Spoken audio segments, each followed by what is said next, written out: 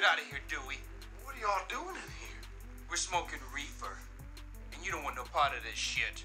You're smoking reefers? Yeah, of course we are. Can't you smell it? No, Sam. I can't. Come on, Dewey. Join the party. No, Dewey. You don't want this. Get out of here. You know what? I don't want no hangover. I can't get no hangover. It doesn't give you a hangover. Well, I get addicted to it or something? It's not habit forming. I don't know. I don't want to overdose on it. You can't OD on it. It's not gonna make me want to have sex, is it? It makes sex even better. It sounds kind of expensive. It's the cheapest drug there is. Hmm. You don't want it. I think I kind of want it. Okay, but just this once. Come on in. Ladies, gentlemen, and motherfucking racists, paces in between. This is your mother loving boy, Dirty Dick Spick, the pale crumb catcher. They call that motherfucking Soul Papo again with another episode of the I'm Black, He's Mexican podcast, that aka IBHM podcast. And as of late, the Soul Papo Incognito podcast, that aka, and you know I love to say it the Spick podcast with another week of fuckery, debauchery, hope, and IDGAFs. Oh, what a week it has been. Uh, down from just the change in altitude to just the fucking showing of cards that motherfuckers are putting on the table. Um, and I would just get right into it. From what's his name, something Nassar, the Fondling doctor, and the gymnastics, even Jeffersonville High School senior uh, Michael Begin Jr., who was 18, now charged 24 counts of child molestation. Police say he had inappropriately touched 17 children, ages 3 to 8, while working as a teacher's assistant at the Thomas Jefferson Elementary School at the YMCA in Jefferson, Indiana. And there's shit like this that I just, I don't know. Not even to, to want to label this shit into a fetish because it, it obviously is something to where in pornography nowadays. There's software that these people run uh, through. I'm just I'm talking about the actual literal video of you know these people fucking to de-age people, women specifically, so they look younger. And obviously, the younger, the more better. The kangaroo sweater, they try to get 18 year olds, them barely legal joints, and of course they'll lie and they'll say it's a teen shit, but they literally have like some kind of CGI programming that makes them look even littler tinier, make the dicks look even bigger, more gigantic. It's it's it, it I, I don't get it. I don't I don't see how that's appealing. And I, again, of course, it's definitely not for me. But I just I just wonder to myself, and I want to go right into like some entertainment shit. Maybe I'll just I'll, I'll fluctuate too back and forth because I don't know if y'all heard. Just I mean, speaking of the illness that is, uh, you know, child P, pornography, um, dude from Glee, uh, and I swear I did not try to make that rhyme whatsoever. Uh, what's his name? trying to pull up his information right here. Something Scally. Um, if I could find his information. Come on, motherfucker. Don't fuck with me. Mark Salling, I guess is his name, and I totally fucked that one wrong. He uh, was recently found this past week, motherfucking floating down a riverbed after being hit with um, child pornography charges. Like, and I'm talking about he like pled guilty. He was found like with the hard drives, some flash drives. I'm guessing even CDs, maybe some printed pictures. I, I don't know exactly how much shit they had on him, but it was in the thousands as far as still images and, and videos go. And I'm not too sure in what source of the deep web, uh, the deep dark web, does someone have to you know go into to be able to find this shit or to pass this thing on. I, I can't tell if if this was like you know amateurly made by. Um, uh, I don't know what you know. I'm saying I don't know how motherfuckers get their hands on this shit, but he definitely did. He then got caught up, and I wish I, I could have found out more how that could have happened. But uh, yeah, he just he got convicted. He was gonna do I don't know how many years since, but once you're marked with that, that's like the ultimate scarlet letter. Like you really fucked up a creek, and that's probably why he out- outed himself and floated down one. So, I mean, this kind of goes into a long line of just people saying "fuck it." Because uh, even his homie, uh, or not homie, but a fellow castmate from Glee, I forget what his name is. He was the more blonder one, or more whiter one. I mean, they're both Caucasian. I don't know how to say, but uh, yeah, he had committed. So I think, but I think that was off of OD, OD, and so. But I know there was close. I know that there was pals, and, and I don't know how much, uh, how deeper the rabbit hole goes uh, when it comes to that. But that shit's just um, I don't know. Like it's, it's uh it, it, it's fucked. It's I mean you definitely deserve you know I'm saying an ass whooping of sorts. Which going back to the original dude who kind of you know has been getting the most attention as far as like molestation and shit goes outside of you know your typical e Hollywood you know how, uh, sexual misconduct. Uh, motherfucking um, that that Nassar guy, uh, Larry he was sentenced. They got his ass. I mean, after so many testimonies, after so many just back and forths, they, they just straight up said, all right, you're convicted, 97 years to maybe two life sentences. I mean, they give this outrageous number because the guy's definitely not going to survive, but to show how much, you know, how, how, how far down they're going to, you know, um, you know, put their foot uh, into this sort of situation. Rightfully so. Uh, there was a dad, and I don't have the article link here, but I'm pretty sure y'all probably had, seen this, uh, to where he, his two of his three daughters who were there testifying were molested by this guy, and he was so angry, so fucking pumped up and full of just, I mean, uh, well-suited hatred that uh, he tried to hop over like the three podiums or whatever uh, because he was trying to like he want he was asking the judge as if the fucking judge is gonna let him, but asking the judge, you know, just give me five minutes with the guy locked up, you know, saying we'll settle this straight. They said no. He goes, all I want is one minute with him. I said obviously no. Uh, so he said, fuck it. He jumped over three, you know, whatever little things to try to get to him. I think he might have gotten to like a lawyer or something, but they fucking tackled his ass down real quick. And they didn't hesitate in doing so. They didn't hesitate sicking six motherfuckers on this one guy, even though he wasn't resisting, and doing all the typical things that they got to do in order to restrain someone and to make sure that they don't are not a harm to anyone else or to themselves. So they locked that shit on tight. And I didn't think, you know, that was gonna you know, ever be an issue. But I mean, apparently he was really hooked up on adrenaline. I was thinking maybe, I mean, how the fuck does he not see how far this guy is? But again, when you're so enraged, so just like fucking nothing, nor time or space can ever come in between where you feel you and your objective are.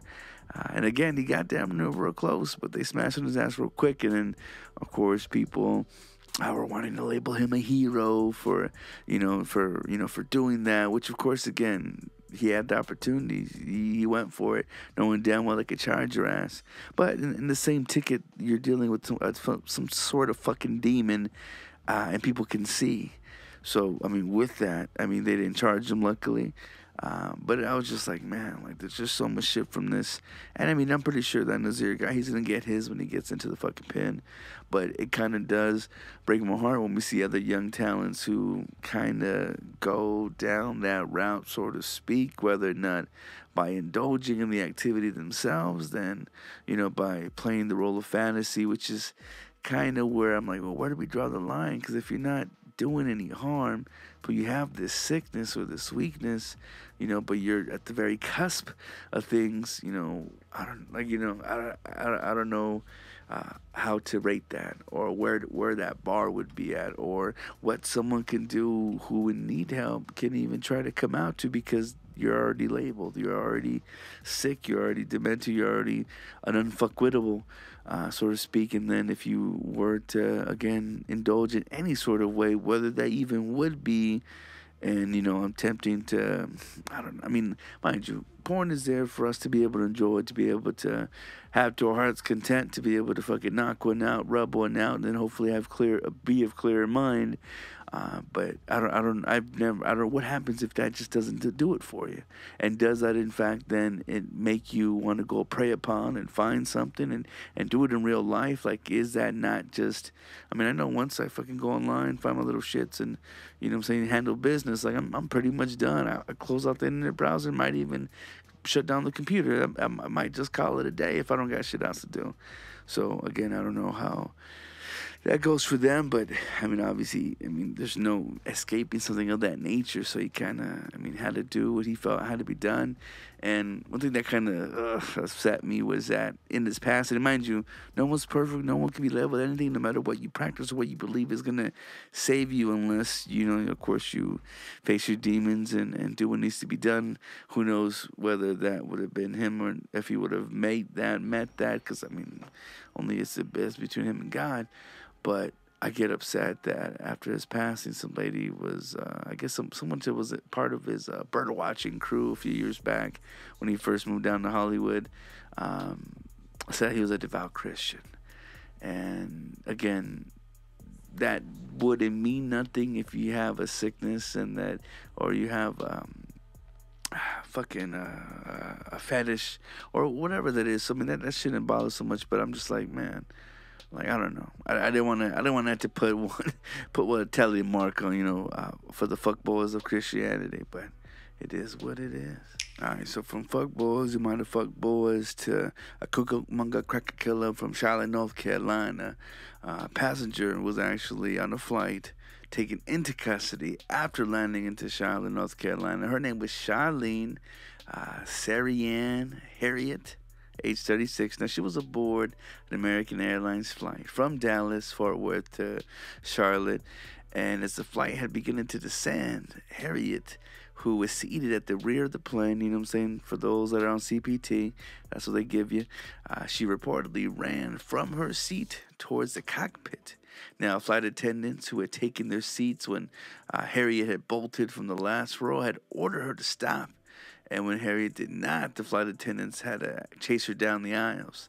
Now, the crew apparently had restrained her with duct tape and zip ties in the first class section of the plane, making all the white folks feel real uncomfortable. Uh, but apparently, like, as they were trying to restrain her, this bitch fucking bit off some fingers. Not that she bit them off, but she bit some fingers. And, um, ain't no fucking reason as to why she might have um, done what she done. Uh, no motive at all. Um, all I could think of is that this was in honor of Black History Month. For as racist that shit sounded, uh, let's play guess the racy on this next story. A woman trying to bring an emotional support peacock on a United Air flight, and it reveals that there's a growing crisis with fucking this airlines. Now, United Airlines flight again had denied a woman's attempt to bring a peacock onto the flight here. And according to a travel blog, the woman said the peacock was an emotional support animal allowed to free fly or allowed to fly free. And while the woman had offered to pay for the peacock's ticket, the blog said United would not let the animal onto the flight. And according to uh, Live and Let's Fly, the woman said the peacock again was an emotional support animal and that it was to be by her side at all times. Uh, but again, according to uh, United, the animal did not meet the guidelines for a number of reasons, including weight and size.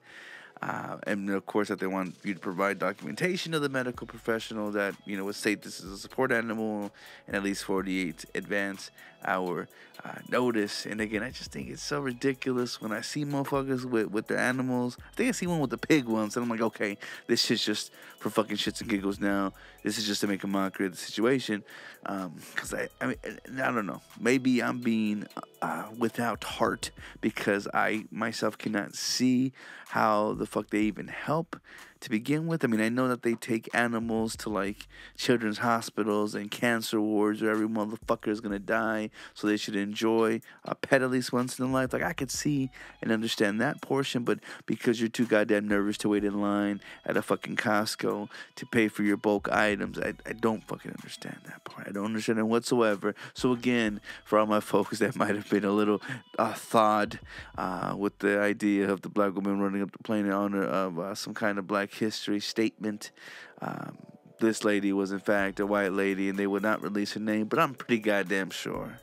Don't be mad at me, white people. I love y'all. All right, but from peacocks to just cocks, cocksuckers in general, that's what I'm talking about. Our president, head celebrity and chief and staff. Uh, we had uh, what is it called? The State of the Union, the very first State of the Union speech that, if you weren't aware, happens every year after the uh, president in uh, seat has uh, completed his first year of office. And it was super fucking long. I'm not too sure if y'all watched it. I tried to.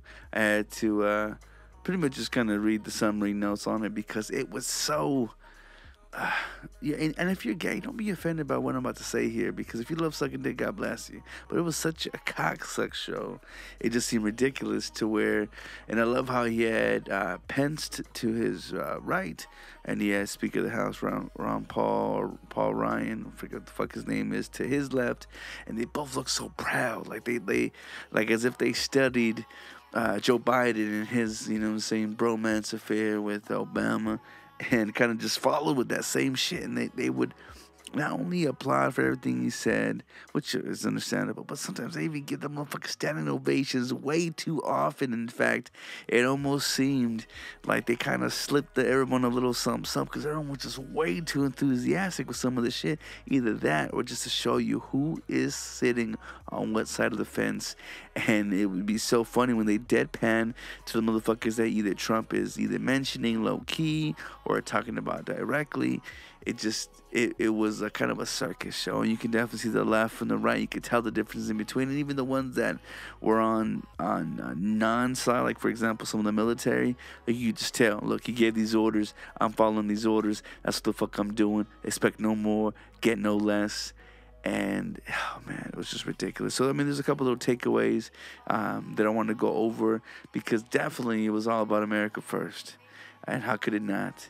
Uh, bipartisanship just ain't happening.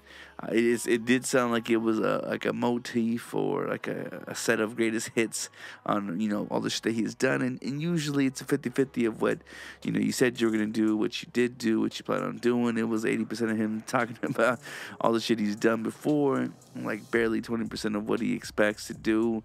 Uh, his biggest takeaway, the biggest cheers, is just how he was like the Obama eraser, which again just fucked with all the progress that we thought we made in those eight years.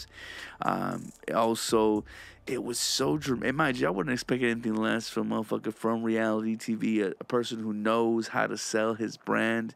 Yo, the stagecraft was fucking top notch. From all the stories that were boo-hoos and and and, and God, even the ones where it was the minority who who now works for works for them. He had his token black guy that he made fucking stand up when all the other motherfuckers just you know kind of nodded their heads and did whatever. Like the stories were just crazy and what and, and that's what it was supposed to do. It was supposed to connect with you and he figured out each demographic and gave you a sliver of it. Like god damn, I tilt my hat not because I, I love the man, but because I respect that he's given exactly what the fuck you would want.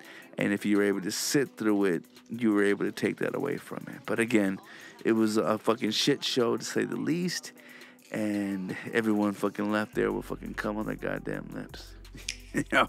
So speaking of motherfucking white privilege, um, a Tennessee mayor by the name of Megan Barry had revealed that she had an extramarital affair with a police officer who led her security detail.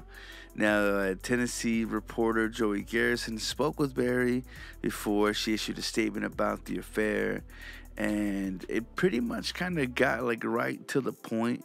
Like I'm not too sure if they knew each other or if he just had the ability to do research or the fact that it was such a big rumor that it just became a thing that she had to address. But one of the things about it that kind of caught me was that she was married. She is married. Uh, she obviously been cheating on her man uh, with this head of, head of security. I'm pretty sure gave her head quite a few times. I'd imagine.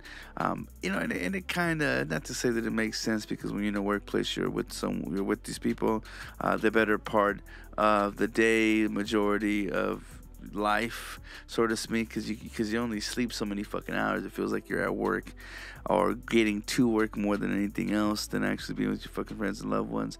Um, until again, they then become your friends and, and loved ones. And uh, the biggest thing, I guess, from from the interview, or what they then later on tried to allude to, was that you know how many times does she go on vacation? How many times in these vacations does she have security detail? How many times, if and with long story short, where all the fucking times did he go along with her? Now, main reason for that is because she, by law, apparently is is is needed to bring some kind of security detail. I mean, the fact that it was fucking why wouldn't she bring his ass because she trusts him, she feels secure, and obviously they was doing things. Um, but I like how they were trying to. He was kind of more again trying to hit the facts, like how much of the taxpayers' money was paying for your fucking affair, and the way she kind of answered the shit, she was just ready. You don't come public unless you're ready to fucking attack and be at all guards. Uh, but the one thing that she didn't really kind of get into, and again, you kind of it, it, gets into the point to where it is personal information is about how how is the relationship now between your man. She said it, it is a pri- our privacy, so we like to keep that private. It's like okay, and when I asked about what's up with dude, I mean it's not like he got fucking fired or something, uh, saying that they don't communicate. But I'm saying, but you being you know, having that for so long, like, does that shit just go away? And uh, mind you, if it was something that bring you some shame, that got you some trouble, of course, I'd imagine you wouldn't just want to fucking continue talking. But I am curious about that. I feel like all that led me to want to know if it was still going on. The fact that she didn't answer, that's kind of like, well, then shit. That's all, that's all I wanted to know. That's the only thing that got my fucking attention. How dare you waste my time? But I love that when the um, the reporter would ask her, "Well, are you going to, you know, resign?" She's like, "No." She's like, "Are you going to take any time off?" She's like, "No." She's like, "I made." She's like, "This was a mistake." Uh, I, she felt bad, I guess, because the the people didn't know of it, and she's a worker of the people, so she's just, I guess, just kind of giving us a heads up, just saying, "Look, I'm a business as usual. I ain't gonna take no days off. It doesn't require it." And in a way, I'm just like, oh, okay. Well, if it was anyone else, though, and I don't know if this is right or wrong, but if it was a man that got caught up, wouldn't we expect him to resign? So is this again one of those? I know a, a lot between us fellas and ladies. It's it's all uh, sexism, uh, definitely um, stereotype. I'm, I'm forgetting the word that I'm that I'm trying to use here, um, but it is you know one dimensional. So uh, or fuck, what's the word? I got a double darn standard. it, I can't believe that I'm, I'm forgetting this shit. But why, uh, or how do we view this any differently? Does she get a free pass because of that? Because some of the fellas that that's doing the dirt. I don't know. Hopefully y'all can tell me. Sound off in the comments, y'all. So from the fucking mayor cheating to you just Chief Keef chiefing. I don't know how the fuck I would say that, but San Francisco apparently is going to be retroactively applying California's new marijuana legalization laws to prior convictions, expunging or even reducing misdemeanors and felonies dating back to 1975. Holy hot damn, nearly 5,000 felony marijuana convictions are going to be reviewed, recalled, and resentenced, and more than 3,000 misdemeanors that were sentenced prior to Proposition 64's passage will be dismissed and sealed, according to uh, District Attorney George Castillon, who says the move will clear people's records of crimes uh, that can be barriers to employment and housing. Ain't this a beautiful treat. San Francisco move could also be bringing, uh, be the beginning, I should say, of a larger movement to address old pot convictions, though it's still far from clear how many other counties will follow the famously uh, liberal city's lead. This shit is very mad exciting, and, and especially for those that were just fucked with ah, goddamn possession. You know what I'm saying?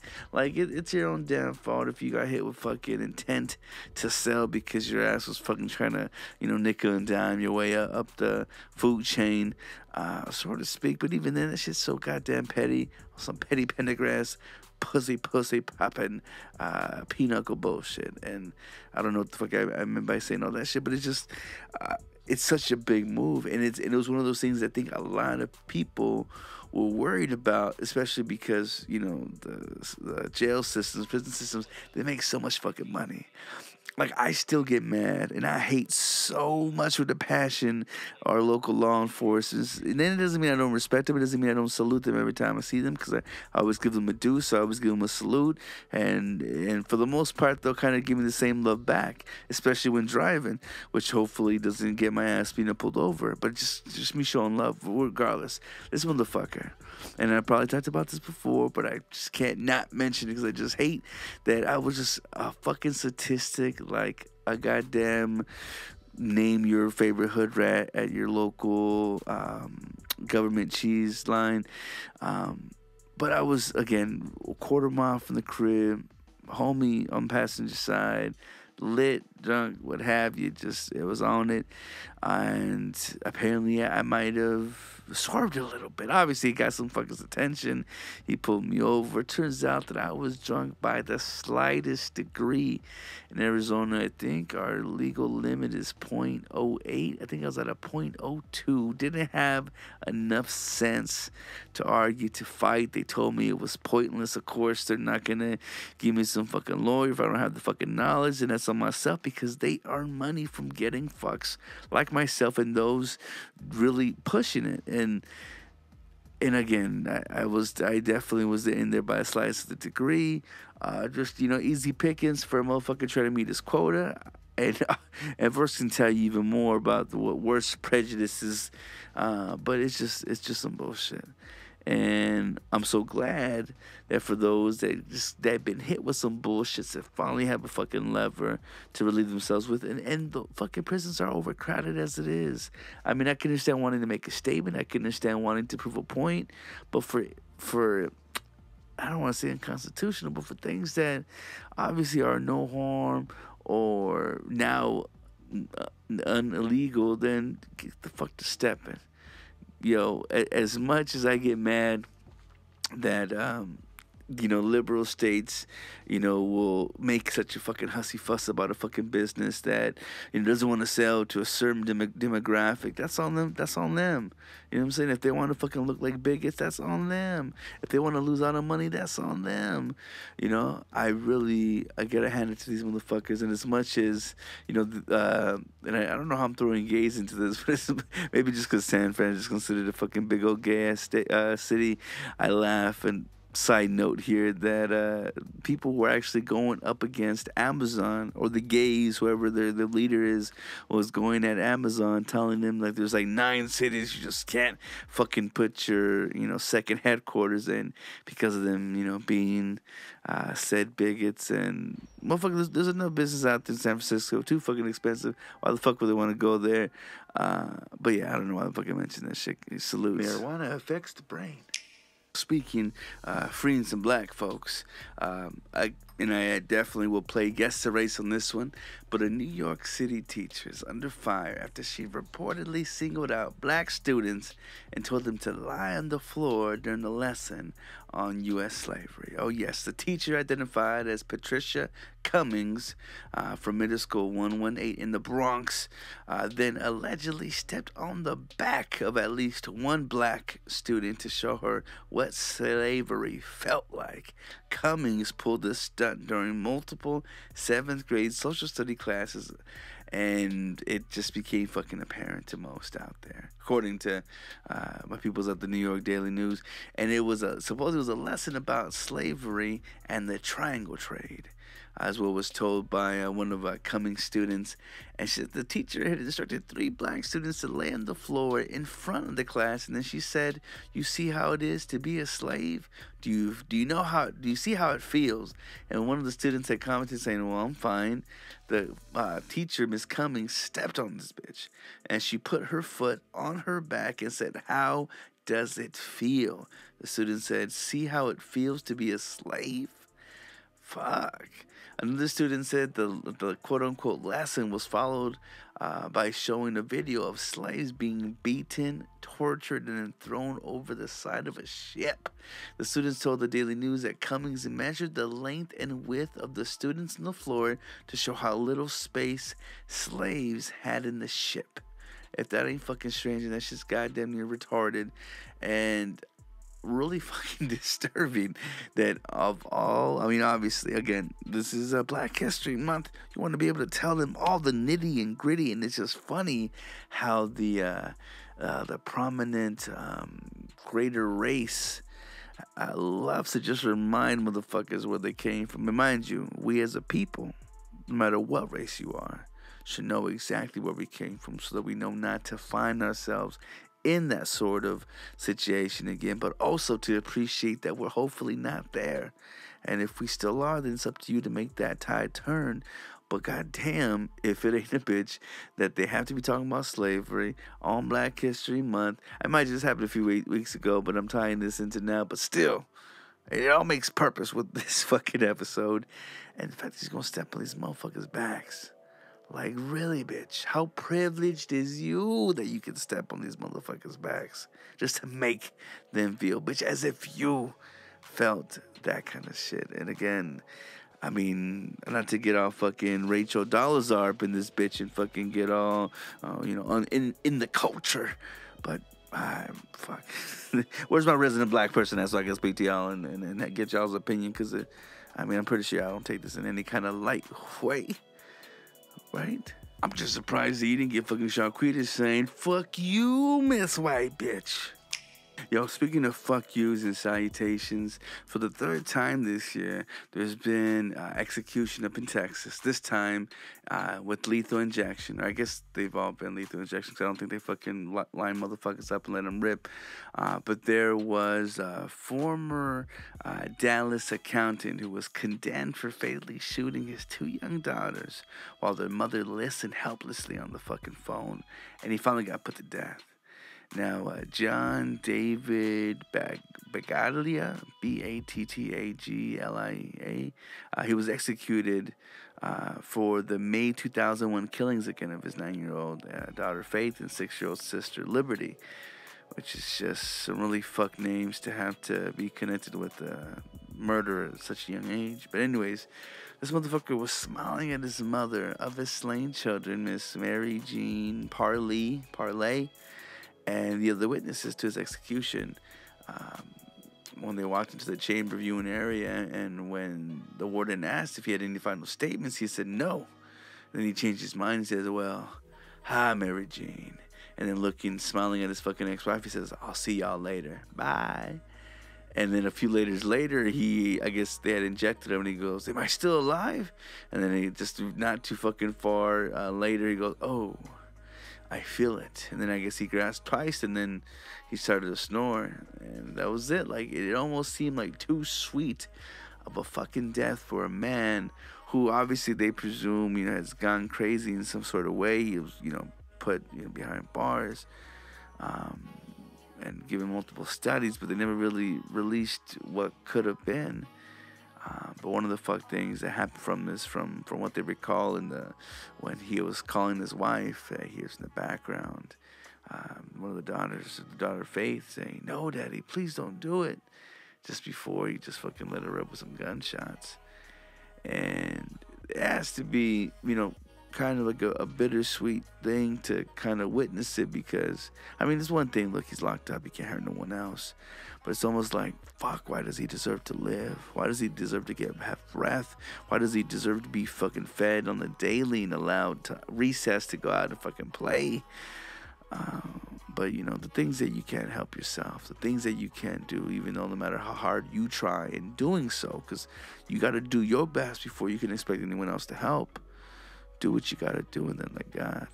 All right, so speaking to the situations where you really can't do a damn thing, uh, other than to, of course, leave it up to God and the judicial system. Uh, but a Wisconsin judge has sentenced the second of the two teenage girls who were accused of the 2014 attempted homicide of their friend by stabbing her in the woods to please the fictional character known as Slenderman. Now, Miss Morgan Geyser, now 15, was sentenced to 40 years under a mental health institution's supervision. Now, while she may periodically petition to release, uh, to get released from the hospital in the future, she will be under institutional supervision for that time. And she was quoted saying, "I just wanted, you know, to I want to let Bella and her family know that I'm sorry." And she broke into tears. She said, "I never meant for this to happen. Hope that she's doing well." And Bella is the nickname uh, Geyser had given the victim, Payton Lautner, uh, when they were younger. Now, the way this shit had popped off, Geyser and Anissa Weier, uh, W E I E R, they're arrested back May 31st, 2014, after attacking Lautner with a knife and leaving her behind. Uh, why, why shoot, uh, Wakesha, Waukesha, W A U K E S H A, the name of the woods, and all three girls were about 12 years old at the time. Now, Lautner was stabbed 19 times, but was still able to crawl to a nearby road where a passing bicyclist stopped to help. Now, again 15, she survived her life threatening injuries, uh, but no real further word as to how she's doing has been going on. Now, prosecutors have said that both Geyser and Weier were obsessed with Slenderman, again, a character often depicted in fan fiction online as a horror figure who stalks children. Now, during the sentencing hearing, both prosecutors and Geyser's defense attorneys called on mental health professionals who have evaluated Geyser to testify, and psychologist Dr. Brooke Lundenbaum and psychiatrist Dr. Keith Robbins both testified that Geyser has made progress in her mental health treatment, but Lundenbaum, uh, who was court appointed, testified that Geyser was still hearing voices near the time of the 2000 uh, October 2017 evaluation. Now, uh, as reported in, in, saying that she had last heard an auditory hallucination uh, that she calls Maggie uh, just before weeks of, of, of being contacted. Geyser attorneys also called on Jesse Andrews, the director of forensic services at the uh, Winnebago Mental Health or Winnebago, how the fuck you say that? It's a mental institution where Geyser now lives. And Andrews had testified that Geyser does not present uh, with psychotic symptoms at the time, uh, but um, is being told that they'll be held as adults through the mental care facility. Uh, she definitely is one of the youngest patients in the living unit. She goes um, on to say that she would estimate that it was August, September of last year. Uh, her psychotic symptoms were gone. So again, uh, I'm not too sure how well you can fake the system or how or what they can see, but they're asking for the maximum sentencing of 40 years again under institutional supervision. I mean, that's her whole fucking lifetime. Now, as of December of last year, Weier who is now 16, was sentenced to 25 years under a mental health institution supervision after uh, a jury had found her not guilty by reason of mental disease or defect after she had pleaded guilty to second degree attempted intentional homicide. So she was party to a crime, and for that, that's why she got less time. Now, Geyser, who had pleaded guilty last year, uh, attempted uh, two attempted uh, first degree intentional homicide party to a crime. However, she agreed to a plea deal with prosecutors in which the court has found her not guilty by reason again of mental disease or defect despite her guilty plea. So it's kind of fucked. Um, she's giving that kind of leeway, but they're they're asking to take into consideration everything uh, that they had, you know, endured and declined, uh, or in the signing of the sentence. You know, it's gonna I don't know. Fuck. I, I'm I'm I'm done with this shit because it just it's upsetting. It's so stupid, and you know it, it almost seems like the catch-all fucking. And, and, mind you, please believe. Don't get it twisted. I know mental health is a is a bitch. It's a thing. It's and you know it's a disease. It's something that sometimes you can't cure. So you just might end off and cut off completely. And but ah, holy hot damn! It just I, I'm I'm just more curious now as to if we're ever gonna hear from the girl who was intended to be dead. You know, I wonder how she is as far as like functionally. I wonder what she's planning on doing. I wonder if any bit of that evil had leaked into her. I mean, she's. I mean, I'm so happy that she was able to survive. I don't think that she, died. It's so crazy that uh, in past stories, when we're reading about the shit the past couple of years, that they've mentioned as if this bitch had passed away, and yet we're knowing that that, that she survived. Um, I wonder if she's still hospitalized. They, I mean, her being underage, they can't really release that information. but it has me curious as fuck. And we try to, man, the, the system is abused so often that it makes me super fucking cynical and like a bit jaded because I, I don't know what to fucking believe. You know, you believe what you want to believe, but I mean, just like we seen the stories earlier, with someone's trying to fucking use an emotional support animal to bring a fucking peacock with you. I mean, the the the, the fucking the far reaches that we will go to get what the fuck we want is despicable. And not to say that these girls are, you know, using, you know, whatever excuses as an excuse. So, I mean, forgive my saying there, but it's just, it's just so hard to believe sometimes and you feel like just justice will never get done. But again, they're gonna be doing their time, and who knows what kind of effect that has in itself as well. I think I lost my sense of smell. You gone smell blind, son. So let's take this. What the fuck? Uh, flight across the world here. Uh, Cambodian authorities have accused 10 foreigners of violating the country's anti pornography laws after police raided a party in Siem Reap, uh, close to the famous ruins of Angkor Wat. The group, which includes at least five UK nationals, as well as two Canadians and a Norwegian and a New Zealander, uh, they're being accused of preparing pornographic materials, a charge which could see them face up to a year in jail if found guilty. Now, the Cambodian authorities have distributed photos which they allege show the group simulating various sexual positions, and it is not clear whether the photographs were taken at the party where the arrest had actually taken place just a group of white folks, and they're the closest white folks around, possibly. Anyways, the suspects, speaking anonymously to Britain's uh, press association, said that they did not understand why they were being detained, and that none of those arrested are the same people who appear in the photographs released by police, which is some bullshit because I saw a picture of the same bitch wearing one of the same shorts, and she looked like she was free to go. So I don't know, but she was in one of them pictures though.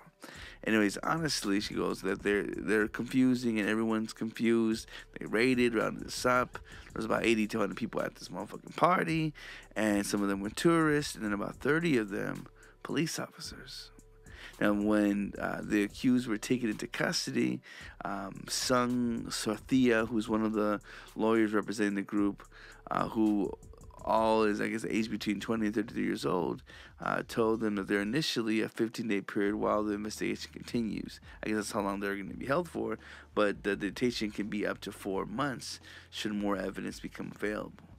Now, when they tried to reach out to them, we, they didn't really get a response because I guess they were trying to shit, do shit through Facebook.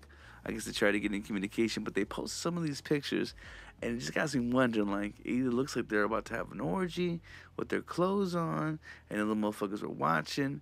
Uh, turns out that um, that there is i guess some kind of ministry that i'm not too sure if they're out there like for for that purpose like to like to witness or whatever it is that the fucking muslims do. Not muslims what am i thinking? Mormons. Uh, you know when they go out to mexico and all these other drug infested gang gang related areas uh, but they're getting their freak on. So again, I'm not too sure if that was just their light way of doing so because they had clothes on. I mean, I, I it, it, it's it's confusing because again they consider because they are in sexual positions and they're fucking grinding that um, you know it can be considered pornography.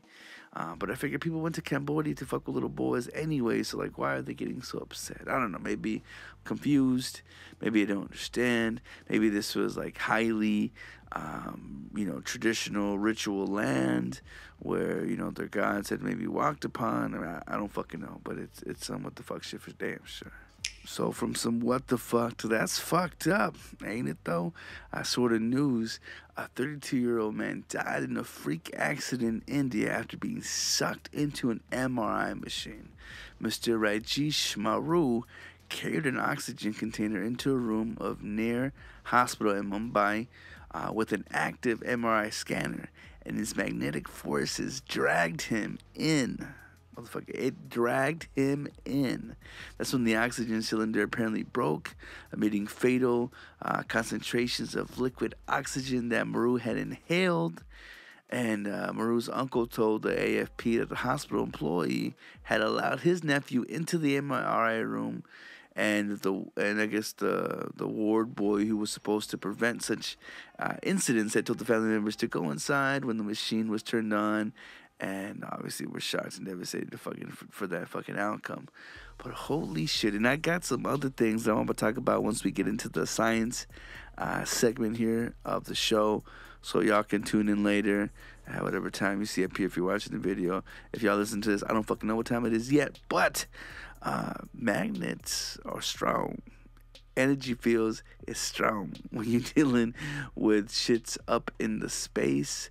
Them shits is strong. So I can't believe that um, that there'd be such a situation though for him to have this this, uh, this, this see I, I, went to a ghetto high school so i really didn't get the chemistry uh, that most people had in chemistry when you went to high school you had the beakers you had the liquids and this and that and this com- you know that combustion Fuck, I never went, we never had that. I don't know if it was just me. I don't know if I was just absent for that because I had really bad truancy uh, at that point in my life. Um, but I just never realized how those shits come together. So to not know this is a tragedy, um, and to fucking have hired help work there, not tell you this shit is a goddamn crime. All right, so from crimes of stupidity to just crimes of, let's say, blood diamonds and that there other, about 950 workers remain trapped in a gold mine in South Africa after storms caused a power cut, preventing them from getting out. God damn. Without electricity, lifts cannot bring the night shift workers to the surface, but they appear to be fine, supposedly.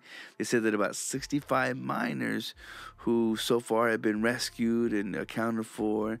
Um, the other ones, again, remain to be fucking trapped. Now, trade union officials also feared that the lives of miners trapped since, uh, you know, it's been a few days, or actually by this time, time of your hearing, it's been a fucking a week uh, since they've really known anything. And South Africa is leading uh, gold producer, so the industry uh, has been accused of poor safety records. But again, if that's their fucking milk and butter, milk, honey butter, however the shit goes, if it's if it's bringing them cheese, then they ain't gonna want to fucking wheeze on these sort of expensive uh, expenses like safety precautions. So again, haven't really kept up too much on this since then.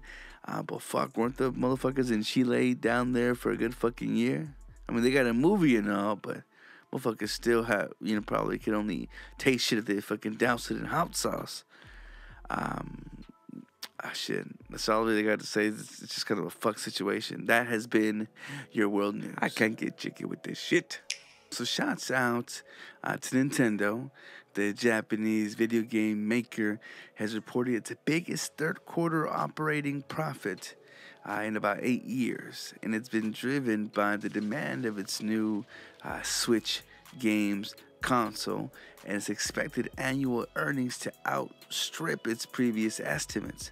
Now, growing popularity for this hybrid home portable system known as Switch has led to near doubling of Nintendo stock's price uh, to nine year heights since the device's launched back in March. I was pissed myself because if I had money, I would have done invested, especially once I see that these motherfuckers are going to make a killing off a fucking cardboard. And y'all see uh, when it comes out this 420. But um, in comparison to initial estimates, um, they beat the lifetime numbers of the predecessor system called the Wii U leaving suppliers fucking scrambling for parts.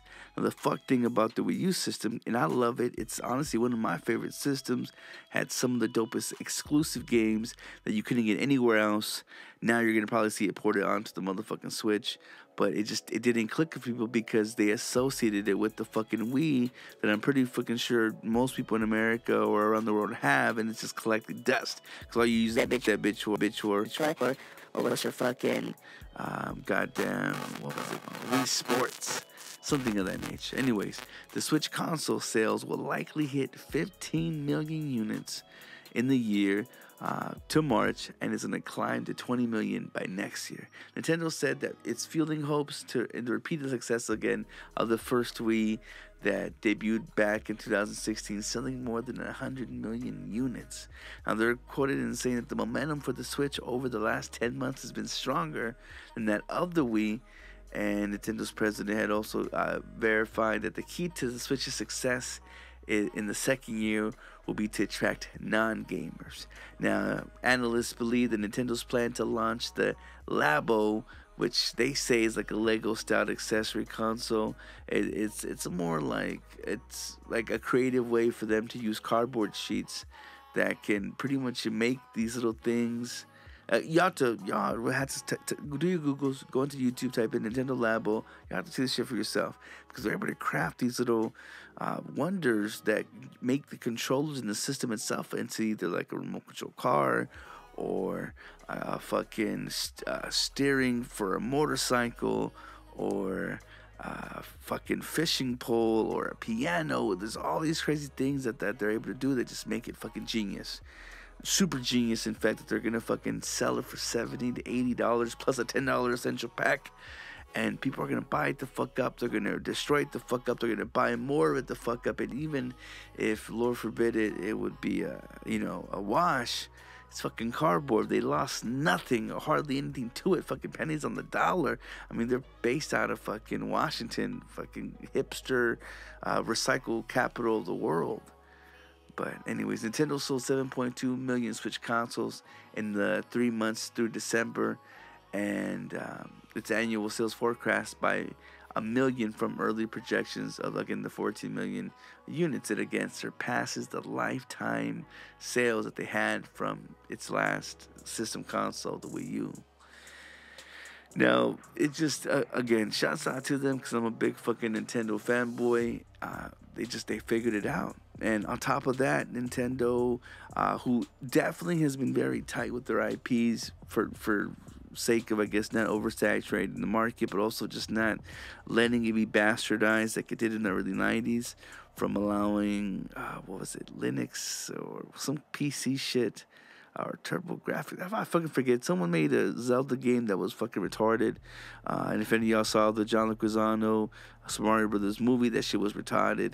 Um, there's a couple things that they've done that just, you know, definitely didn't have the quality control that they have now.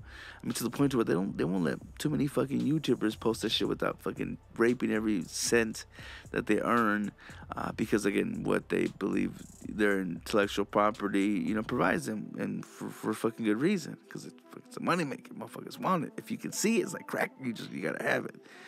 Uh, but shouts out to them not only teaming up with Universal in the realm of making um, Universal Studios for a limited time in 2020 a um, Nintendo World kind of thing, uh, but they've also fucked with them on the production standpoint because they're going to team up with Illumination Studios, the people that brought you Minions and uh, Despicable Me, and most recently Sing. Uh, they're going to team up with them to make a Super Mario movie. So that should be exciting. I'm wondering if they're going to include any of the Raving Rabbids, uh, since they are in itself like uh, minions of sorts. Um, but yeah, so please believe your kids will get hooked and uh, experience Mario if they haven't already. And hopefully they don't have some kind of fucking scream shit that the minions and rabbits do because that shit pisses me the fuck off. It makes me want to drown some children. But uh, again, shouts out to Nintendo for bringing out the kid and the kid in us uh, to be able to enjoy good-hearted entertainment. But speaking of motherfuckers that are going to be making money hand over fist, sales of the Boring Company's flamethrower, which seemed to start a throttle away line to help the company sell hats, have toppled over 7,000 units. Now, according to a tweet from Elon Musk, uh, early back this week. This means that he has taken in $3.5 million. Now, the flamethrowers went on sale this past Sunday with a pre order price of $550. Uh, also on sale was a fire extinguisher with the Boring Company sticker on it for $30. Fans quickly laid down their cash, and the whole idea of a burning, or I'm sorry, of a, because the name of the company is called the Boring Company. The idea of the flamethrower started as a joke when uh, Musk had said that he had sell one of his companies um, first managed to sell 5,000 50,000 hats. But then Sunday he had posted a, a, video on Instagram of himself playing with the flamethrower, and sales began soon after, and they expected to begin uh, shipping this spring. Now, Elon Musk, continues to embrace the absurdity of actually selling a flamethrower though noting that uh, they'll be handing a zombie apocalypse, which he later on said that he wasn't planning. Um, but he had to put on the tweet saying, "When the zombie apocalypse happens, you'll be glad you bought a flamethrower. Work against hordes of undead, or your money back." And then later on, because uh, I guess a lot of motherfuckers were retweeting and responding and liking and sharing. They were saying that he was spreading rumors like he was secretly creating like a zombie apocalypse to generate demand for the flamethrowers, which he had immediately said it was false. He goes, I could. He's like, uh, you need millions of zombies for a so-called apocalypse anyway. Where would I get a factory big enough to make so many? But you know, you never fucking know what part of the machine you might be. You know what I'm saying? Sucking the teat off of, but it's just crazy that Elon Musk made $3.5 million selling flamethrowers and he sold every single one. Motherfucker. I bet Elon Musk can just fucking throw, play 52 card pickup with credit cards that have a limitless uh, capabilities on top of strippers. But speaking of fucking spin on these hoes, hackers are now able to make ATMs spit cash like winning slot machines, and they're now operating inside the United States, uh, marking the arrival of jackpotting, which attacks uh, after widespread heists. Uh, first started in Europe and Asia, uh, but now thieves are using these skimming devices on the ATM machines to steal debit card informations. Uh, but the jackpotting arguers are more sophisticated technology uh, that challenges the American financial firms and what they're going to be coming up with the next couple years. Now, this is the first instance of jackpotting in the United States, and they're saying that it's safe to presume that they're here to stay at this point because they weren't able to get shit with who the fuck was attacking it, who was hacking it. And they're reporting that um, this jackpotting attacks uh, in the past few days, uh, though specific places weren't really. Um, I guess, called out. Uh, but this represents the first confirmed cases of losses due to logical attacks in the U.S., and this should be treated as a call to action to take appropriate steps to, return, uh, to protect their ATMs against these forms of attacks and uh, mitigate any sort of consequences.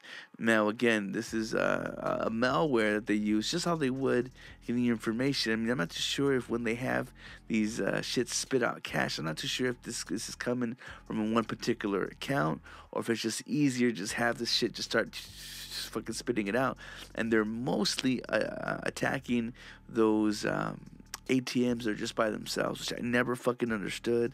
Just because I'm like, why the fuck would you put this in the middle of nowhere? You're asking for it to be fucking tampered with.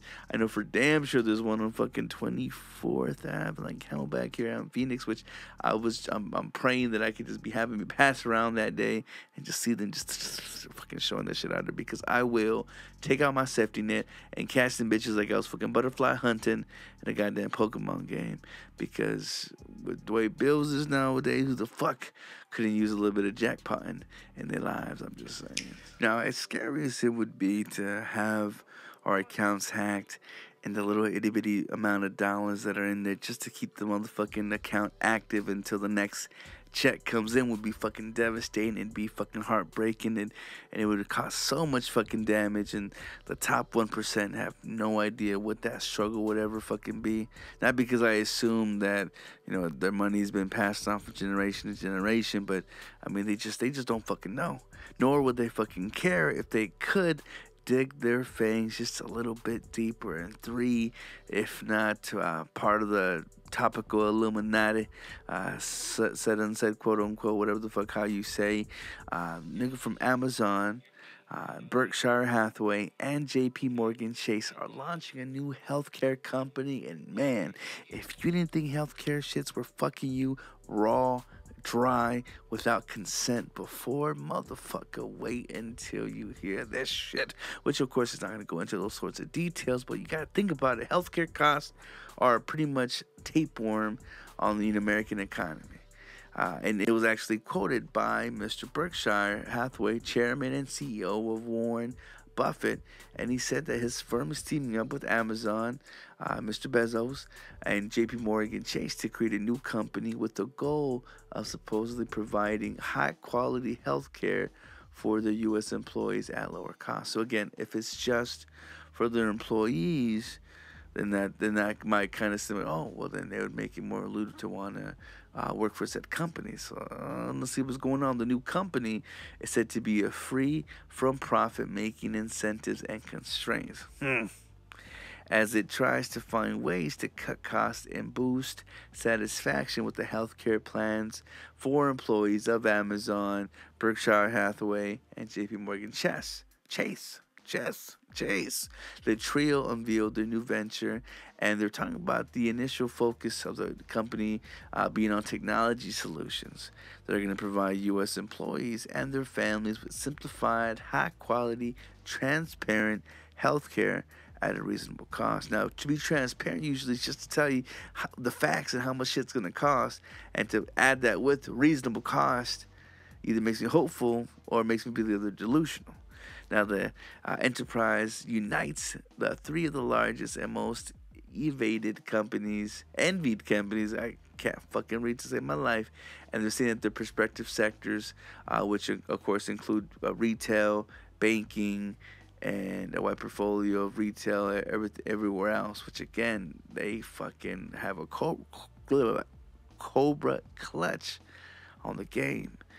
Uh, and I guess things like uh, Geico and Fruit of the Loom aren't, aren't too far off from wanting to, you know, get onto the teat of things. And again, I don't know if this is just kind of like a who's who in Fortune 250s or uh, certainly less than 500s. I don't know how that shit works.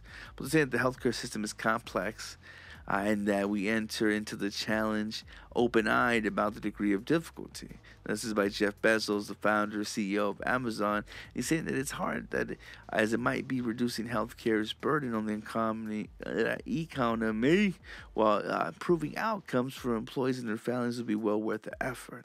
Now, again, you have to be in a business to make uh, business and to make money and to data. So again, in order to do all these sort of things, I, I don't know how they can better uh, it than making it cheaper, but they ain't making it cheaper. They're, telling you they're giving you high quality and making it affordable. But still, I mean, there's, uh, there's just so much that hasn't been said in this. And mind you, they're just going to fucking start. But I'm wondering, how is it going to compare to things in the long run? How much do you have to pay up front? How is it that it could be possible? Uh, and again, of course, I wonder if it's going to be limited. Uh, I don't know. It's just I'm curious because we, we got warehouses down here, for example, for Amazon. So in that case, by paying, you know, getting the shitty 12 13 dollar job uh, an hour paying job, uh, am I then gonna have the kind of health care and coverage that is gonna you know take care of a fucking family of uh, six? You know what I'm saying? Like, where does it outweigh? And even then, getting paid at such a shitty commission is that gonna cover shits for y'all? Because there's always like three tiers of things uh, you know, good, better, and best, always aiming to show you how the best is the best.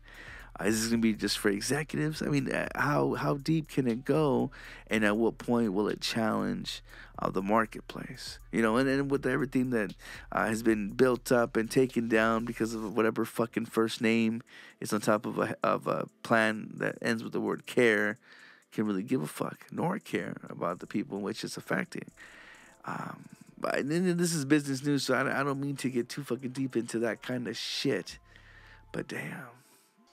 Holy hot damn and all the dams in between. You do what you do, you do what you must, and hopefully in that regard there ain't too much change and too much fuss.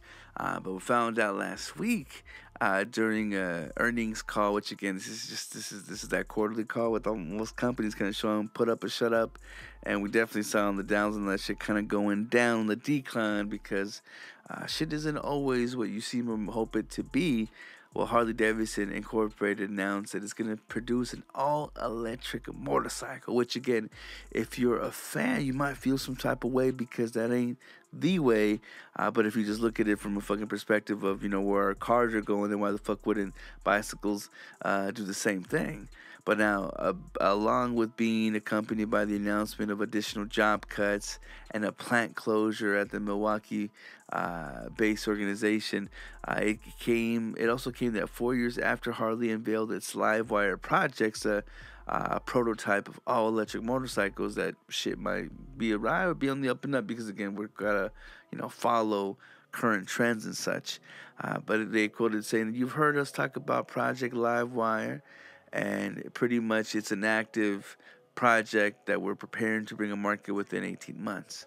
Now, if it's anything like its predecessor, the new motorcycle, which was not named, will carry a roughly 50 mile range to be able to go from 0 to 60 per hour in 4 seconds. Now, by comparison, Zero's SR uh, hits 60 in about 3.3 seconds, which goddamn, that's rather fast. And Mission R Racer uh, has a top speed of more than 150 uh, miles per hour with a sub three second sprint time, which the standard Ducati Monster uh, 1200 uh, motorcycle can hit 60 in under three seconds. Now, this decision is supposedly comes at a time when the electric motorcycle market is small but growing. In a, uh, from a 2016 report, market research firm uh, Technavio predicted that 45% growth in the electric motorcycle industry uh, will be hit by 2020.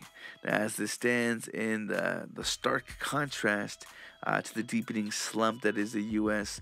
motorcycle demand, uh, industry retails are actually down 6.5% uh, in the fourth quarter and fell 11% in the fourth quarter of uh, to the 8.5 from last year. So again, it's just it's what motherfuckers gotta do to survive. And what's crazy is as I'm looking at this shit, I'm not it's not like we're hitting some Tron esque shit just yet.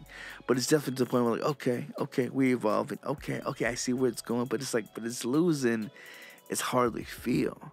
You know what I'm saying? It's now looking like some like some motherfucking crotch rocking um, shit that you'd fucking see on Biker Boys. Shouts out to Biker Boys again, so uh, relevant in the month of Black History.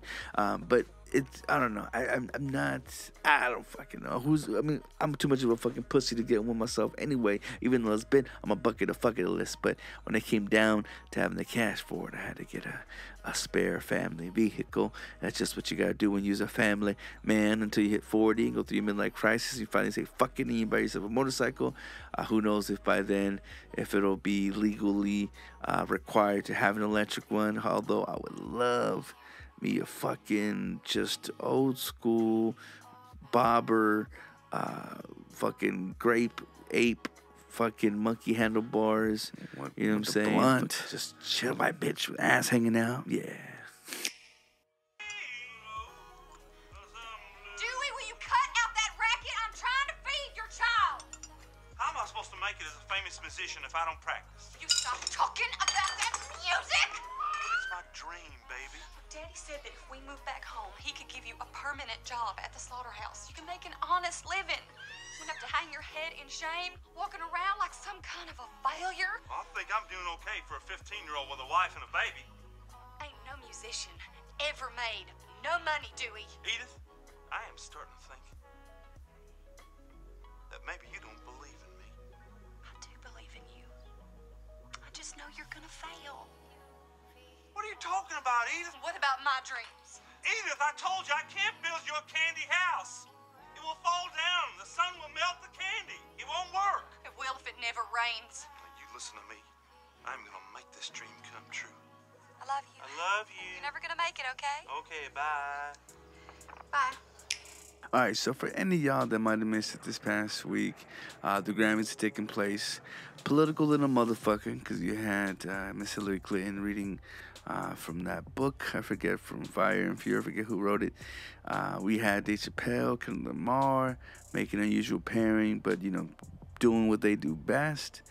And which uh, shouts out to K. Dr. God for uh, stumping old Jay Z which, uh, by the way, the biggest takeaway from what it seemed like was that everyone was so like mesmerized that Ivy was a little cunt, uh, telling her parents, you know, not to clap so damn much. Uh, speaking of country or douchebaggery, Beyonce had some shades inside, so there was that. Uh, Janelle Monáe, Janelle Monáe uh, had presented uh, Kesha, and I was like, "Where the bitch? Where have you been? You I always see you looking extra, but just what have you been doing?" Uh, and by the way, that uh, story or that book from Fire and Fury was by Michael Wolff. That motherfucker's been on a tirade, trying to shit on what's been going on with Tennessee and uh, the office inside.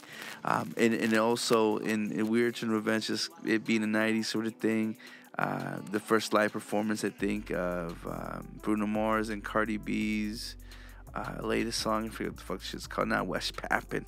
That was her fucking track. But yeah. Um, um, Camila Cabello, she's the one who was presenting right before um, Blue Ivy. I kind of told her parents to calm the fuck down while they're clapping. I didn't know that she was um, uh, fucking Cuban and Mexican descent. Uh, but definitely fucking adorable. Cutie, loved the fucking pedophile glasses she was rocking. Uh, Logic, no doubt, has been uh, really popping with that song. Uh, 1 800 273 8255, that, that suicide hotline track. Definitely deep fucking story. Video, bananas. John Cheeto, just fuck it's just all, all, all good all around. Uh, my big girl, bad baby mama Sarah Silverman and Victor Cruz had presented uh, that fucking Despacito bullshit song, uh, but she was just looking dashing and all around mesmerizing as she normally do. Uh, throwing in jabs about voting and how uh, it's very important. Then kidding, no, it's not. The world's almost done anyway. Uh, the, a, a lot of this shit, obviously, leaning heavy on the fucking left uh, should not go um, ignored. Uh, because again, it's following a movement, it's following these things, and, and, and I loved how they're trying to make shit so pro woman. Uh, and not to say that women can't dress sexy, because I know that's that's considered slut shaming, but look what you're labeling. You already call it a slut. So I just I just think that we just take such fucking ass backward kind of fucking attempts to try to, uh, you know, cure all and put these fucking band aids on top of shits. But again, it's all fucking entertainment, people. Don't be alarmed. Motherfuckers be woke. Alright, so from West popping to pussy popping, all around popping, hopping, and getting the fuck out of the goddamn way, an Instagram fitness model was kicked off an American Airlines flight in Miami, uh, again, due to disputes with the crew. Uh, fitness coach and Instagram celebrity Jen Selter uh, was aboard a flight out Miami International Airport, I guess on her way to New York, and to where she had it fucking was removed by police. She was quoted saying that she did nothing wrong, but got kicked off the plane. Uh, in her tweets to her millions of fans and uh, gawkers and masturbators, an American had offered her a hotel accommodations and transportation, which she had declined, according to the airplane or airline services. And the video posted by uh, Selter, a woman's voice can be heard explaining to a man who appears to be the pilot that a flight attendant asked her to sit after she had stood uh, to put up her jacket while the plane was uh, delayed. Now, several voices can be heard explaining the situation to the pilot.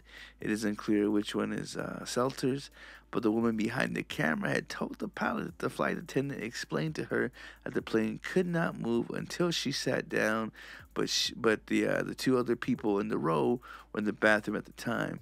Uh, now, there's also a quote saying that we also said, "Would you like to get off?" And she said yes. The unidentified flight attendant told the pilot, "I was obviously being sarcastic, ma'am." Uh, and the one behind the camera, uh, you know, then replied, again, talking shit. But anytime that happens, you being in this set situations, you really don't want to be the motherfucker to have to start a ruckus. It's just some bullshit. Um, so, I mean, pretty much, and I'm, and, I'm, and I'm pretty damn sure, especially because, again, she has some celebrity. You know what I'm saying? People uh, know her because she has a fat old ass. Uh, you know, she's probably, you know, a bit on the conceited and, and probably well to do side. You know, just, it's just natural, right? Uh, and all the more sting in the behind uh, that is uh, you know, probably her main asset. Uh, and that's why she was being so butthurt. It's just, it, it's, it's a bitch. And whether or not she was being a bitch and the bitch was hating, bitch on bitch crime, uh, never ends well. Alert, alert, And, alert, uh, alert. Yeah. So speaking of bitches and do nothing bitches and the opposite, opposite type of bitch that you generally never see, uh, Ronda Rousey shifts to wrestling with a surprise WWE Royal Rumble cameo. And I bet my fucking dude, Arizona verse creamed his pants when shit this shit had fucking popped off. Uh, but once the most dangerous woman in MMA, Rousey officially has made the anticipated jump to WWE back uh, this past uh, two Sundays ago, for the time you're hearing this now, at the Royal Rumble in Philadelphia. And the former UFC Bantamweight champion also told ESPN that she's fully committed to wrestling and she's not planning on just making cameos uh, in their big events. She goes, This is my life now. They have first priority on my time for the next several years. She says, This is not a smash and grab. This is not a publicity stunt. Now, Rousey had appeared to a roaring fans after the Women's Royal Rumble had, had finished off in, in Philadelphia this past was uh, fucking WrestleMania ago. And she's scheduled to uh, for New New Orleans in April um, as uh, the Joan Jett's bad reputation bled to the arena. So I'm wondering if that's when WrestleMania is, if that's in New Orleans. I'm not too sure. But I remember Rousey, she was smiling when the Royal Rumble winner, Asuka, had slapped her hand away to offer a handshake. Rousey left the ring and walked over to to the executive uh, and Royal Rumble commentator Stephanie McMahon, also known as uh, uh, Triple H's cum dumpster, and also Vince McMahon's uh, daughter. Rousey shook hands with McMahon and left without saying a word. She slapped hands with fans along the ringside and pretty much just yucked it up to all the good old drama that pops off in the whole wrestling world. And she was quite saying, This has been a dream of mine since uh, me and all my girlfriends would sit around and watch wrestling together. She goes, No matter how much I try to do things in my life, it kept following me around. It's time to take a hint from the universe and go for it. And she seemed like well fit for it because she kind of was straight faced and, you know, she, she could play a good. Um, what's the word? Um, poker, you know, poker face. Like it just fit well, and she's definitely gonna be a fucking hero in this shit. Especially since you know everyone was kind of being cunts to her. Um, and again, I I can't fucking commentate too much on this shit. Uh, the homie Jesus fucking had to hook me up with being able to uh, uh, get get a whiff of the WD network. So kind of tasting, being able to watch it. Fucking kids enjoyed it. Watching the the girls kind of ham at it uh, was both cringeworthy but also uh, interesting to watch. And just to kind of see her kind of get in, into it, like that, that shit had like surprised me, like off tops. And I wish I didn't see it in fucking headlines. Luckily, thanks to the uh, miracle that is uh, the short term memory loss of marijuana, and also just all the fucking week's events that had kind of taken me out, out of mind and and out of sight, so to speak, as you know, as far as this topic goes. When it when I finally got around to watching it, like I totally forgot that she was gonna make a cameo, and just seeing her there, you know, and as the jar had popped off, I was like, oh shit, this is nice. Um, even when watching like like the males portion of it, like motherfucking Rey Mysterio came out of nowhere, and that was my dude. You know, being the being Latino and everything like that. That's that's the one guy I kind of had look uh, look forward to and look up to uh, as well as you know Konnan back when the WCW days. Anyways, just kind of seeing that, I thought was dope. Uh, fan favorites there, of course, you know, were dope. Um, the betraying of your partner, uh, said you know side story, of course, always happens. Um, but yeah, shit was looking man interesting, and I'm I'm really down to see how she takes it and whether or not um, she's gonna kind of bring the idea of you know giving true licks you know, so to speak, because we know she could take a fucking hit, uh, and we know that she can dish it out. Now, how is it going to be around other people who, you know, are merely playing on stage? Well, that shit remains to be seen, and definitely uh, adds to the factor of it being the most electrifying uh, entertainment shit in the universe. All right, so speaking of white women, which may or may not arguably be the kryptonite to most black men, and who's blacker than Wesley Snipes, he had revealed, uh, I guess, like an untold story behind his Black Panther film. Now, getting the project off the ground was an uphill battle that had included script rewrites, uh, director uncertainty, storytelling clashes, and also CG technology that was inadequate to create the fictional nation of Wakanda. And in the mid 1990s, while riding a wave of box office hits after box office hits uh, that propelled him into superstardom, uh, black ass Wesley Snipes undertook a bold initiative, and it was to make a film about the Marvel character called Black Panther. Now, the African superhero, who is now a household name thanks to Juggernaut's uh, Marvel film franchise, including him in the 2016 uh, Captain America Civil War, uh, stars Schwark, uh, or Chadwick Boseman's work as uh, T'Challa, which I guess is the Black Panther, uh, quickly became a fan favorite, which helped them launch the character's first uh, self-titled feature film opening February 16th. Now, uh, hype uh, for the Ryan Coogler directed movie, also starring Lupita Nyong'o and uh, I don't know if say that, Michael B. Jordan, of course, in every black movie, uh, is the at a boiling point, and uh, pre-ticket sales broke the Fandango record, and the film projected to open to like 100 million to 120 million and could become the biggest launch for a Marvel Cinematic Universe, Heroes' first standalone movie, that is. Not to mention the buzz of the films um, after Hollywood's premiere, you know, kind of, you know, gone on to show off a bunch of dope stuff from uh, Kendrick Lamar's. Uh, I don't know if he was mass producing the, not mass producing, but helping produce and put together the lineup, which seems sick. Have not heard it yet. I got the iTunes um, playlist or what's it called? Fucking whatever shit they make you that they charge you monthly so you can hear shit. So I gotta jump on that. Haven't yet.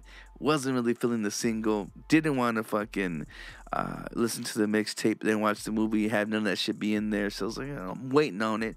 But again, month of February, let's let's fucking set the shit ablaze. Uh, but yet, some 25 years ago, it was a much different story though. Uh, Snipes' uphill battle was plagued again with the script rewrites, not figuring out who the fuck was going to direct it, not having the proper CGI to fucking do it, and there was always rumors about you know the defunct project that would ultimately lay a roadmap for 1998's Blade, which is the first hit film based on a Marvel character. I'll have you fucking know, and it was super goddamn dope, rated R. None of that fucking Teeny Bopper X Men bullshit that kind of taken over Fox's uh, mainstay. Uh, but the details still remain murky until now. And for the first time, Snipes pulls back the curtain for the Hollywood Reporter and shares the tale of how his version of the beloved superhero uh, never came quite uh, to fruition despite his efforts and ambition vision ambitious vision is what they would say and again it's just it was just too much to do. I'm surprised that we made the fucking the fantastic four movie when we did.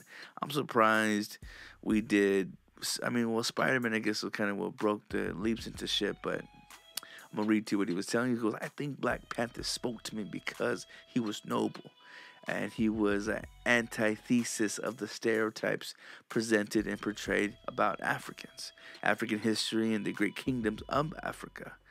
And he had told that they had cultural significance, social uh, significance, and something that the black community and white community hadn't really seen before. Now, the crazy thing about this is it was created back in 1966 by Stan Lee and Jack Kirby Black Panther was revolutionary as the first African superhero in the mainstream comics. The king and uh, kick butt protector of Wakanda had it all bronze, brains, wealth, and advanced technology. That's the part that I'm interested in checking out. Now, Snipes had hooked in an instant where he and his then manager, uh, Doug Robertson, uh, were approached by Marvel for the project and feeling that Africa uh, save uh, for the unique animal population was too commonly shown in films as depressing and desolate lands and pretty much what fucking Trump would call a shithole, but not really knowing that you know they want to show off its beauty and lush history. Now, many people don't know that there was a fantastic, glorious periods of African empires and African royalty. Uh, Mansa Musa, the uh, emperor of West Africa, Mali Empire, uh, and some of the wealthiest men in the world compared to the wealth of today. And he goes, this was very, very attractive, and and that uh, Trump, not Trump, we're talking about, Snipe. I love the idea, you know, of the advanced technology portion, but thought, you know, and thought it was forward thinking, but again, just didn't have the technology at the time. I mean, Marvel was hardly the Disney-backed powerhouse that it is today. Uh, and after years of fucking hemorrhaging money, the company declared bankruptcy in 96. And while its competitor DC Comics had enjoyed big screen success with Tim Burton's Batman, Christopher Reeve's Superman, I mean, it really ex- alluded to Marvel, and I mean, shit just didn't pop off again until many years later. Now, Snipes, on the other hand, he was red hot. He was having started in shits like the New Jack City, White Man Can't Jump, Passenger 57, Rising Sun, Demolition Man, and again, all this. Uh, I guess made him just look like a fucking black superhero. I mean, that ultimately again is what pushed uh, the Blade situation going on. But Black Panther, though, being an iconic character who uh, much of the world was unfamiliar with, uh, you know, just that that's nothing that's what makes it the, the biggest fucking gem. You know what I'm saying? When the the B sides that people may not know about, and then but then I don't know. It's it's so crazy how a lot of things that were popping off then again now seem more relevant now have more ties. And now uh, with technology not only i mean i know in the movie basis we're able to show off more shit but we're able to know more shit nowadays. And it not just be a typical fucking hood story. I couldn't imagine how um, they would have made it and how just i don't know plain it would have been. I mean there, there's so much to it. I'm gonna have uh, links uh, to the stories uh, that there's a whole lot more of. Uh, so stay tuned.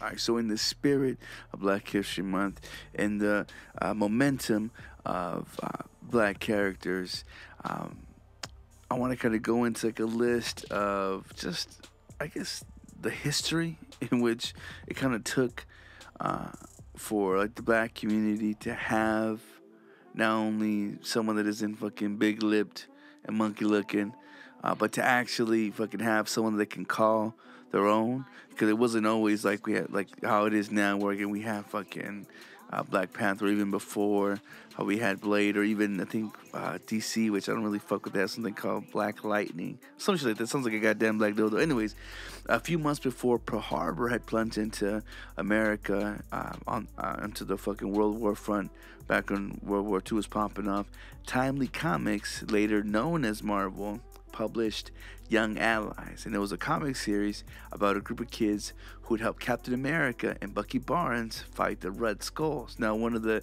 team members is a big lipped, superstitious, and dim witted African American that embodies some of the worst stereotypes of the era, and his name was Whitewash Jones, of course. Again, first stepping stone into having black heroes. It took a bit of time to shake off the. Um, I mean, the fuckery of it all and the blackface, but again, you know, time and patience, that's pretty much what either fucking wins the race or gets you to the fucking, you know, steam. Uh, but in 1942, the big red cheese uh, gets some help, and around that same time, Captain Marvel editor Ed Herron had introduced Billy uh, Batson, simple minded valet uh, Steamboat in America's Greatest Comics issue number two. Now, Steamboat was supposed to be a positive role model and was created to draw in black readers. But many fans disagreed, including over 11,000 schoolchildren who called themselves the Youth Builders, and a group of African Americans who traveled to Fawcett's uh, editorial offices to protest in person and executive editor uh, Will uh, Lieberson took their side, and Steamboat disappeared from the book in 1945. Again, still, you know, hella stereotypical. Now, by 1944, a uh, big behind the scenes debut happened, and Matt Baker, the first known African American comic book artist, made his debut penciling the cover story in Jumbo Comics number 69, which features a leopard skin clad crime fighter known as Sheena, Queen of the Jungle. Now, the tale, uh, Slaves for the, for the White Sheik, features a noble astro uh, born white hero freeing the helpless black natives who have been forced to participate in illegal pearl harvesting operations. Now, the funny thing is, if you look just into it again, having to deal with slaves, having to deal with Amazons, obviously that a fucking black culture, but you can't sell that shit to motherfuckers in the 1940s, so you're gonna put a white woman on that. And again, get your foot in the fucking door. It's just, it was a matter of getting in there, doing what you could. And in the late 40s, uh, Orrin Cromwell Evans, who was the first black reporter to handle general assignments for a mainstream white newspaper, produced and published the only issue of all Negro comics, which Time magazine called the first comics to, to, to be drawn by Negro artists and people entirely um, by Negro characters. Now, while Private Eye Ace Harlem is all Negro Comics' big star, the issue also featured a story starring Lion Man, a college educated African American who ventures to Africa to fight white criminals. Seems simple enough.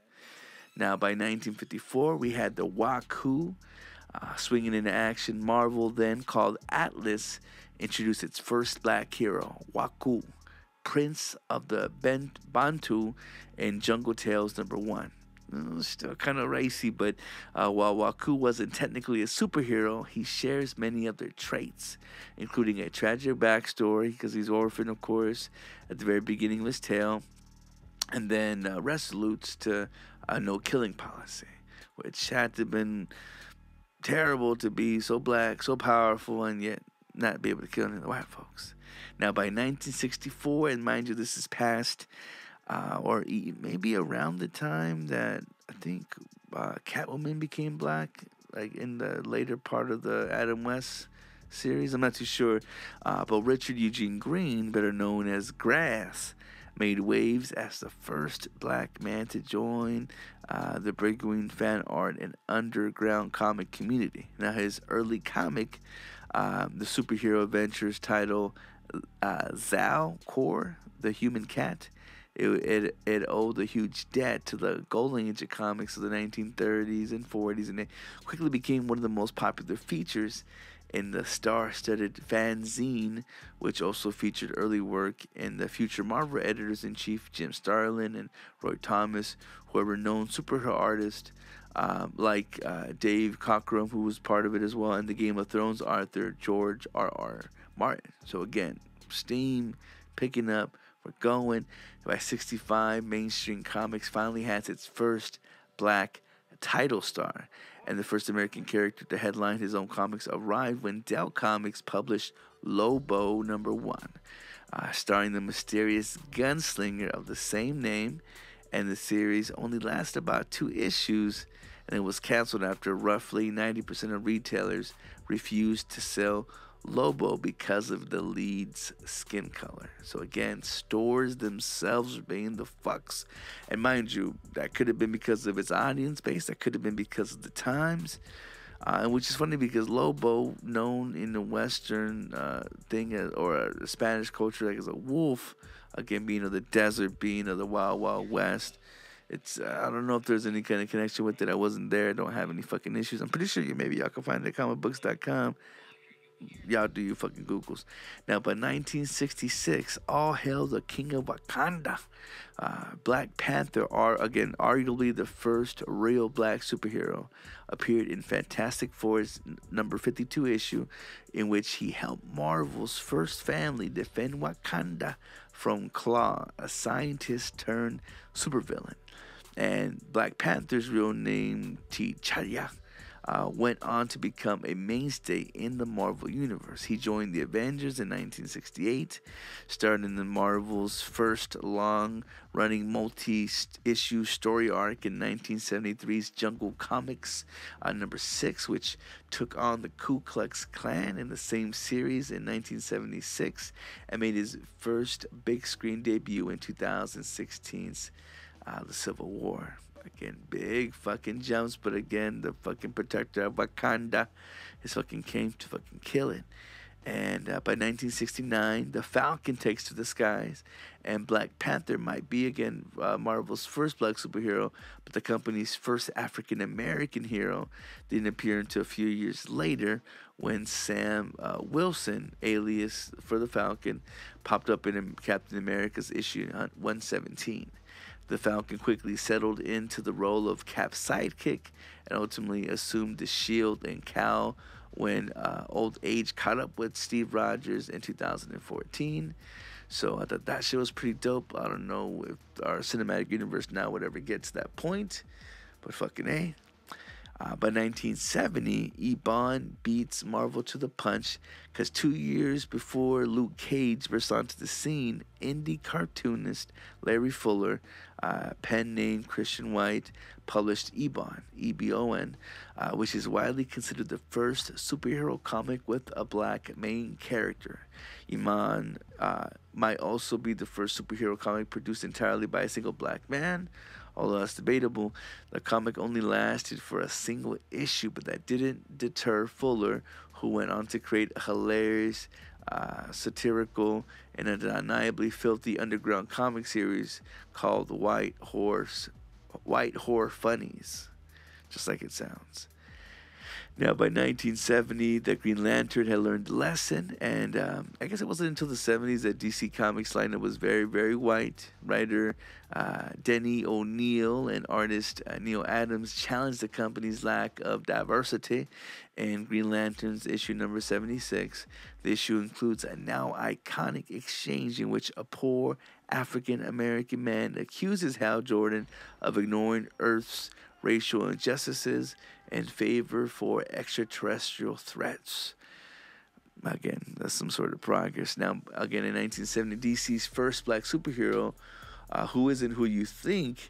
Uh, I mean, despite what you've read lately or been seeing on TV for the Black Lightning, uh, Green Lantern, John Stewart, uh, Legion of Superhero member uh, Tyroc, and uh, the new God's Avatar of Death, the Black Racer, all hit spinner tracks before him. And DC's first black superhero, however, was actually Mal Duncan, a gifted boxer who joined the Teen Titans in issue 26. I didn't even know they went back that far. Now, their ongoing series, um, of course, on today in different kind of universes, I guess. So I'm not too sure if that's still in connection. But uh, while Mao didn't originally have the powers uh, beyond his fighting prowess, he later gained a variety of abilities and went by a number of superhero code names, including Guardian, Hornblower, and Vox. Now, uh, by 71, uh, the Kryptonians became racist too, because a year later, uh, in Superman 239, DC Comics had made a misguided attempt to explain why we never see Kryptonians of color before. Apparently, black Kryptonians were segregated from the rest of the population and lived somewhere called uh, Vathlo Island. Understandably, Vathlo Island was only mentioned a handful of times before it disappeared entirely. Uh, but it would make sense that the whites and the blacks were also segregated on this fucking planet. So when it destroyed, maybe these niggas kept the fucking bloodline lineage going. I mean, they kind of let that go because they realized, oh, that's pretty fucking racist that we allowing segregation to happen in the goddamn comics. Now, by 72, a cover star was born. And the first mainstream black superhero to get his own comic book was Luke Cage, who debuted in Luke Cage. Hero for Hire. Initially, Luke Cage was a jab talking hustler, and his Avengers relied heavily on tropes and stereotypes from popular black exploitation films. Eventually, the black exploitation craze ended, and Luke's title faded away. However, the bulletproof hero has been a fixture of Marvel's universe ever since, especially since getting up on Netflix in 2016. Um, and I'm pretty sure that can only grow more, especially if uh, you know they're gonna need to diversify shit a bit more. But who fuck knows? Now by '73, Wonder Woman's sister, again a true Amazonian, uh, came into play. Now DC might have been behind the curve when introducing black superheroes, but it actually beat Marvel on the super heroine front. And in Wonder Woman 204, DC introduced Nubia, a black Amazon with a claim to Wonder Woman's title. Like Diana, Nubia was, was crafted out of clay and brought to life by the gods. Unlike Diana, though, Nubia was raised by Mars, the god of war, and not by Hippolyta.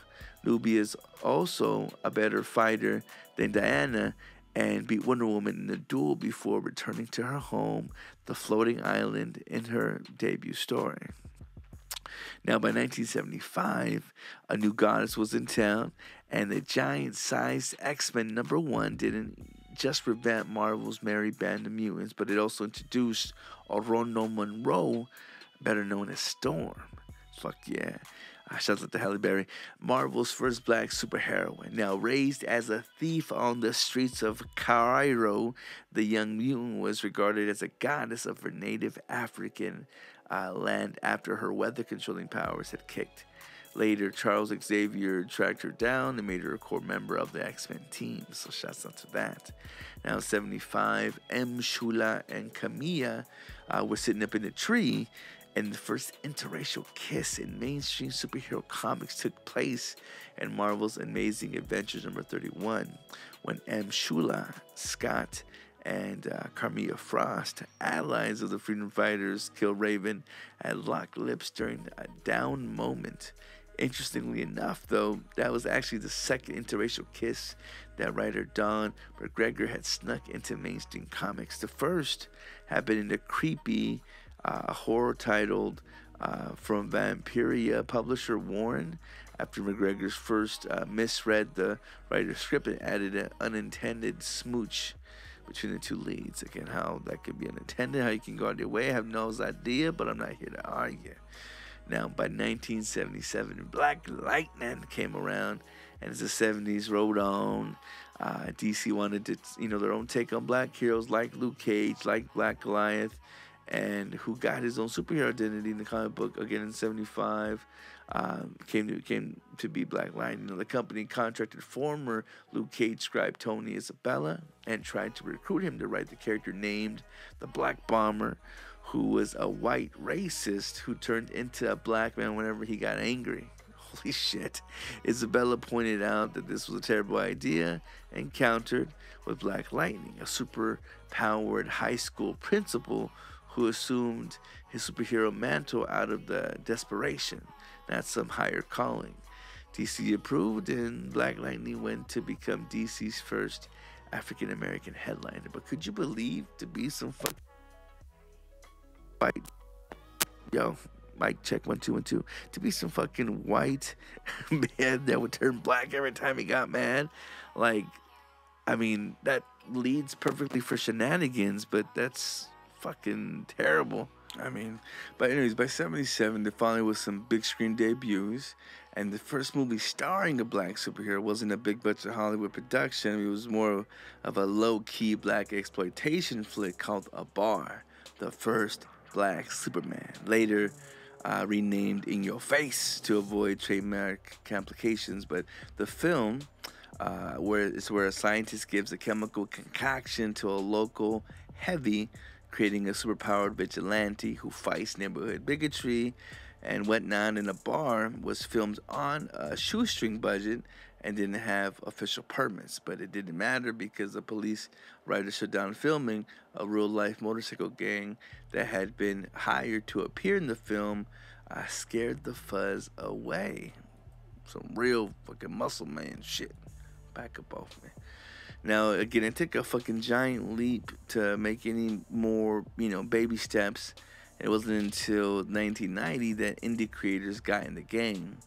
And Brother Man wasn't supposed to be a cultural icon, but artist uh, Dawud Anyabwile uh, and his brother, writer Guy Sims, created the character as a parody intended, intended, uh, intended mainly to drive businesses to Anyabwile's airbrushing store. And yet, the character and every man who doesn't actually have any powers is widely credited from uh, reinvigorating the black indie comics community. And IndieYB uh, sold over 7,500,000 copies of Brother Man before the series ended in 94. And in 2018, the Smithsonian National Museum of African American History and Culture announced that it would add Brother Man materials to its archives, citing the comic's historical and unique influence on the indie comic scene. And that's kind of a fucking big deal. Now, by 93, uh, the Daku verse is born, and fed up with the mainstream comics and lack of diversity, McWilliam McDuffie and a group of other black creators founded Milestone Media, a company devoted uh, to empowering people of color both on and off panel. and Milestones book, bro, Milestones books were published by DC, but the creators retained both editorial independence and intellectual property rights. What's up. Now, while Milestones Comics division closed in '97, its franchises uh, popular. Static, one of Milestone's flagship characters, got his own cartoon series in 2000, which I definitely fucked with. I thought that's who Black Lightning was, in all honesty. And then other characters like Rocket and uh, Icon made appearances in Warner Brothers.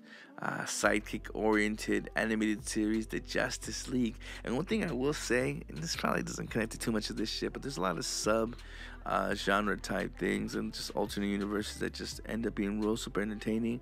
For any y'all that fuck with Batman, um, y'all should check and who like old school nostalgic shit.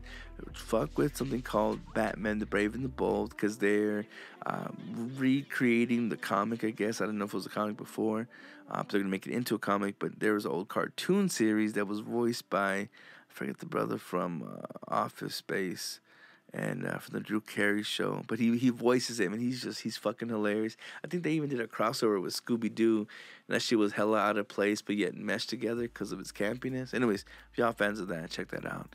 Uh, now in 1983, Meteor Man crashes, and Meteor Man might be the first mainstream movie featuring a black superhero, but sadly it wasn't a very good one. And despite the appearances by celebrities like Robert Townsend, James Earl Jones, motherfucking Sinbad, Cypress Hill, Bill Cosby, before he was, um, you know, pill popping. Well, actually, no, it would have been afterwards, before he got caught up in all the bullshit. Uh, the campy, lighthearted superhero adventure failed to win the hearts of critics and audiences, and it only made back $8 million of its $30 million budget, which holy shit, I totally fucking forgot. And now that I look at the fucking picture of it, holy shit, I had no idea that was actually whatever, whatever. Now the next fucking movie, oh my goodness, this shit I was obsessed with. This made me want to be a Superman fan, even though it had nothing to do with it.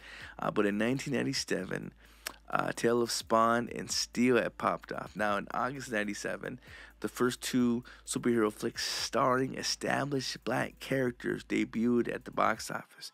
Spawn, starring Michael Jai White as Todd McFarlane's popular anti hero Spawn, first hit. And then Steel, a Superman spin off with all references to Superman removed, followed two weeks later, while Spawn was a moderate success. Steel tanked, putting a quick end to a star um, Shaquille O'Neal's Hollywood aspirations. But I will fucking say I was obsessed with it. I bought the fucking toys. I don't remember uh, much else than him having a, a, a, fucking handicapped white woman being his his his intel. But it made the most perfect fucking fucking sense. Besides Shaq being retarded and whatnot. I don't know. Maybe I wish I could find a DVD of it. I, I don't know where the fuck I would find it at, but I'd buy it. Now, by 1998, though, we went fucking vampire hunting, and Blade uh, came into play. But Blade wasn't just the first Marvel movie starring a black character, it was the second Marvel movie to ever get a theatrical release in America.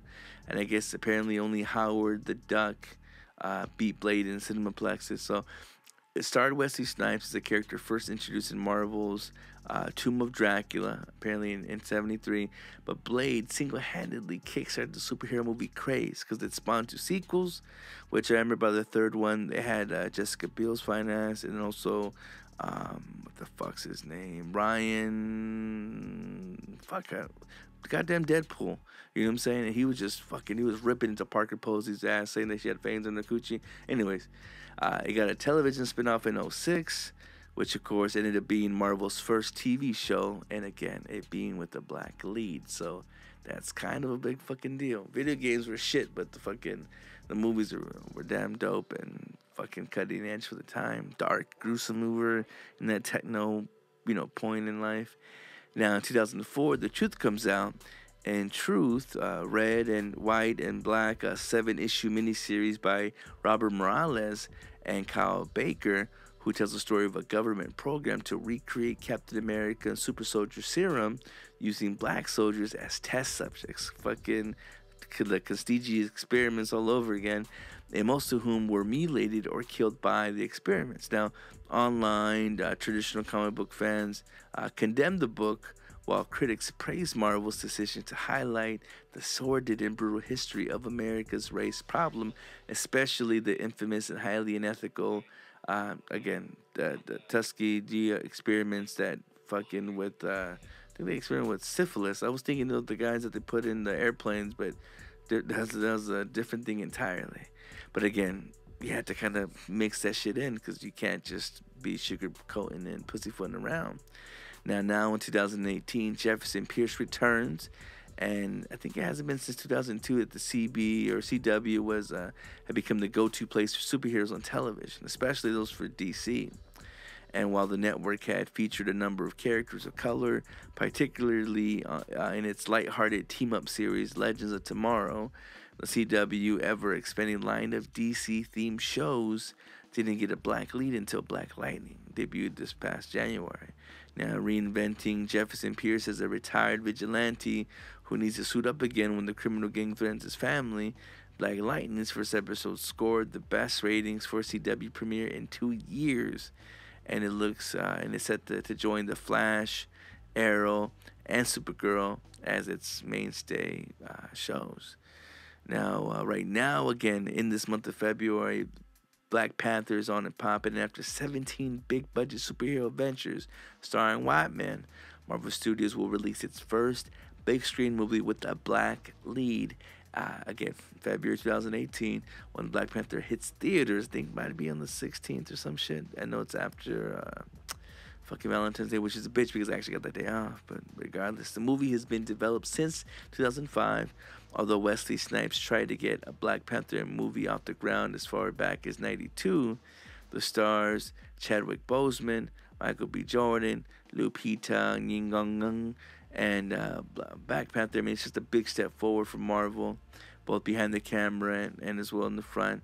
And the film is directed by Ryan Coogler, who previously filmed, helmed uh, Fruitvale uh, Station and uh, the Rocky spinoff Creed, which motherfuckers loved.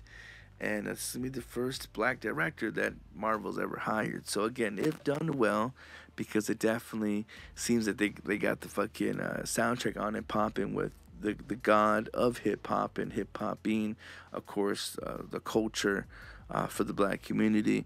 Um, this can only fucking mean good things moving forward, uh, and hopefully, just I mean, all around entertainment for the rest of us. Not only giving us um, again entertainment, uh, but hopefully giving us some of that medicine with the candy that, that we're so quick to fucking to suck on. Yes, I'm talking to you white bitches. Yo, I had to mention this really quickly because I'm not a big sports guy. I can give a fuck about the Super Bowl. I can give a fuck about the teams. I'm a local, native, hometown boy, so that's what I represent just by default. But uh, quick shouts out and fuck yous to Tom Brady. Besides him being a cheating ass bitch, which again I don't give a fuck no shits about. Um, but I started laughing, and it's fucked up because you know you should never attack family. But when he had kind of started, you know, getting upset that people were clowning on his daughter, I mean, I kind of just let him to be like, what can you expect? Because uh, and I pray to God that my, my blood baby will be the best baby ever on earth. I you got I, I've come to understand that when kids um, I mean, maybe sometimes just by the fucking fault, kids can be little shits. You gotta understand that people uh, who aren't related, who aren't of blood, who don't directly love you and all that you do, they're gonna see these things and not be again convoluted or or blinded or made fuzzy to the fact that you have a little shit for a daughter and someone on a radio station, which is one of those real norky, uh, fucking campy ass radio stations on the East Coast that fucking do the hey hey hey now you're calling whatever fuck cocksucking voice. Um, they had uh, called their daughter like a pissant, and motherfucker just you know respectably uh, bowed out and fucking left mid interview, uh, which again was the least of his issues because they you know then were gonna threaten to fire him and i guess the team owned that particular radio station so he kind of has to make these appearances but you know what kind of station this shit is. I don't know if he expected the fucking the cocksucking treatment. I mean uh, long story short i mean he got all hissy but he has a reality show And what do we do when we watch reality shows? Either to relate or to talk shit. Usually it's to talk shit. So I don't know. Maybe just maybe he wasn't ready. He wasn't ready. That's all it was. He wasn't ready for it. Um, and I don't know. I didn't bother looking up the news to figure out what they said after he had uh, pretty much uh, enticed his little boy uh, to give him a kiss on the lips in order to use the fucking iPad or some shit. Uh, it was a scripted moment gone terribly fucking wrong. And um, I'm sure with all this fucking Me Too nonsense, people would have fucking been clamoring over it. But whatever. I don't watch reality shows. I just know of this, and it got my fucking attention. And um, it segued into the story of white bitches. Get out of here, Dewey. What are y'all doing in here? It's called cocaine, and you don't want no part of this shit. Cocaine. What's it do? It turns all your bad feelings into good feelings. It's a nightmare. I'm thinking maybe I'd like to try me some of that cocaine. Today's gonna be the best day ever. Yeah, yeah. Ain't nothing horrible gonna happen today. Get out of here, Dewey. You don't want no part of this shit. What y'all doing in here? We doing pills, uppers and downers. They're the logical next step for you. I want some of that shit. All right, for drugs, 20.8 million prescription painkillers were sent to a West Virginia town with a population of only 2,900. Yeah, between 2006 and 2016, a total of 20.8 million prescription painkillers were sent to two pharmacies in Williamson in uh, Mingo County, uh, West Virginia, a town with a population again under 3,000 people. And the U.S. government panel was now questioning how drug wholesales could have sent millions of prescription pills to two pharmacies in West Virginia uh, without flagging any suspicion. Now, the panel centered around two drug wholesalers who provided drugs to the pharmacies Ohio based, Miami, Luken, and Illinois based H.D. Smith.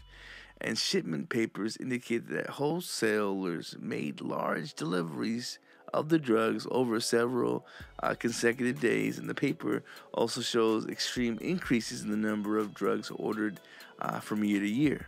So both these records should have been uh, sparked suspicion, and main drug uh, main, drugs identified in the investigation were hydrocodone and oxycodone. Two prescription painkillers that motherfuckers love a whole lot. And it, it's shit like this. You wonder how the fuck we have such an opioid epidemic. And makes me wonder, like, because someone got them shits. You know what I'm saying? People consume that shit. And then supposedly those that don't, supposedly flush it. And it's fucking making our waters mutate shits. But come on now. There's, there's ways that we definitely. I mean, I don't know how things can be ignored for so long. Obviously, I mean, eventually they're fucking caught up. But holy hot damn, these motherfuckers are getting higher. Alright, so from painkillers to killers in general, the flu can kill tens of millions of people. And in 1918, that's exactly what it did. Now, when the flu arrived as a great war raged in Europe, a conflict that would leave about 20 million people dead over four years. Now, in 1918, the flu would kill more than twice that number and perhaps five times as many. Now, in just 15 months. Now, although mostly forgotten, it has been called the greatest medical holocaust in history. And experts believe that between 50 and 100 million people were killed. More than two thirds of them died in a single 10 week period in the autumn of 1918. Uh, never have so many died so swiftly from a disease uh, single handedly, from one single disease, that is. Now, in the United States alone, it killed about 675,000 in about a year, and the same number have died of AIDS in nearly 40 years.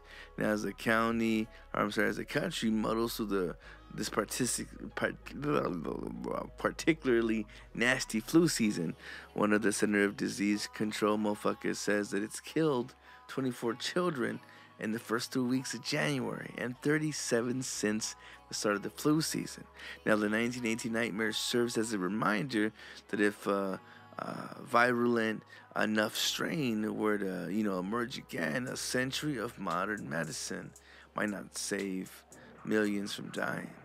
So that's one of the trippiest things, especially just how things have have gotten the way that you know from us having the fucking um, the flesh eating bacteria, all, all, these things to which you know we just figure, oh, you bumped your head, oh, get some rest, oh, you might have the flu, end up waking up dead, which I know you can wake up dead because if you're dead, you ain't waking up. But regardless to how the hell that saying goes, I mean, shit's trippy, to say the fucking least. Motherfuckers in California can't even trust coffee anymore. Apparently, California coffee shops may soon be forced to warn customers about a possible cancer risk linked to the morning jolt of Java. And the state keeps a list of chemicals it considers possible causes of cancer, and one of them, acrylamide, A C R Y L A M I D E. I don't know the fuck you say, but it's created when coffee beans are roasted. And a lawsuit first filed in LA County Superior Court back in 2010. The nonprofit Council for Education and Research on Toxics targeted several companies that make or sell coffee, including Starbucks, 7 Eleven, and BP.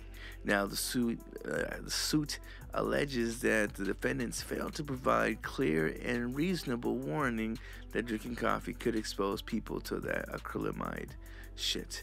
And the court documents state that under California's Safe Drinking Water and Toxic Enforcement Act of 1986, also known as Proposition 65, which is where the 64 voted for marijuana, here we are circling back businesses uh, give customers a clear and reasonable warning about the presence of agents that affect health, and that of those stories fail to do so. So, in addition to paying fines, the lawsuits wants companies to post warnings about the acrylamide with the uh, explanation about how the potential risks of drinking coffee can again cause cancer. And the suit is, if the suit is successful, the signs can be needed to clearly posted at store counters and on walls where people can easily see them when making a purchase. Imagine like motherfuckers put the surgeon warning on the general surgeon warning on cigarettes. Just like that, and the fact that it ain't bullshit, whether you want to believe it or not, whether you want to take the risk or not, this happens when you do this. Motherfucker, does that not frighten you? For the people that drink tea, fuck you. And then for the people that don't drink none of this shit at all, fuck off. For those that um, fuck it in a bucket and take it literal with the sex machines and robots and devices and whatnot, uh, pizza is a healthier breakfast choice than cereal. And that's according to a registered dietitian and uh, their claims. Now, they're saying that you might be surprised to find out that an average slice of pizza and a bowl of cereal with whole milk contain nearly the same amounts of calories. Now, this is explained by Chelsea Amer, A M E R, who apparently is an MS, RDN, and CDN. Uh, she had reported to the Daily Meal that it's worth bearing in mind, however, that if you were eating pizza for breakfast, you'd likely have more than one slice because who eats just one slice of pizza? So you would probably be eating more calories in a bowl of cereal in that regard. Um, however, I mean, pizza, pizza, pizza, pizza, uh, pizza is a healthier breakfast choice than cereal. Now, um, again, with this, I mean, obviously, it packs a much larger protein punch, which will lead you to full uh, and boost uh, safety throughout the morning. Uh, plus, a slice of pizza contains more fat and less sugars than most cold cereals, so you will not um, experience a quick sugar crash as you would with the sugar. I feel my eye just bouncing off its retinal right now as I speak. Now, uh, she does admit that pizza isn't exactly a health food, and sadly, it can't be considered a nutritious option to have regularly. Uh, she was saying that whist, it is true, pizza can be a well balanced meal containing carbs, protein, and essential fats. That is not to say that it's healthier um, than breakfast choice of cereal. So, again, I don't know what the fuck we just happened, if uh, if all this shit's an oxymoron. But they're saying that labeling certain meals can sometimes be unhelpful, and when we should really be focusing on this nutritional content of our food choices instead of the calorie count. This is because not all calories are equal, And that's some real shit. They say at the end of the day, it comes down to what pizza and what cereal you're eating. Now, some cereals contain large amount of sugar and have next to no protein or healthy fats to keep you full. Amongst the worst uh, offenders is the British supermarket shelves are Frosties, uh, Cocoa Puffs, Crunchy Nuts. All these things probably just generic offshoots of our names, and they give you a shitload of sugars 3.7, 3.5. Uh, that's fucking per serving, four point sugars per cube. I mean, that's nearly 15 grams of sugar per serving, which I guess is half of a, what, what adults are recommended uh, daily allowances are. And many people have more than 40, you know, grams of servings in cereals too. So again, it's all uh, fuck me, fuck you, fuck me, fuck you. Oh, I hope you had a good breakfast. Oh, now I'm sleepy. Oh, the fucking FDA wants to curb abuse of Imodium, and they're saying that this shit is the poor man's methadone, as if meth couldn't get any cheaper. Now, the Food and Drug Administration is asking manufacturers of over the counter anti diarrhea treatments to change the way they package the products to curb the abuse by people using or being used by you know drug addictions. Uh, Commissioner Scott Gottlieb said in a statement uh, the agency was taking the novel action because of growing concern that abuse of Imodium AD and similar medications were adding to the death toll of the nation's opioid epidemic.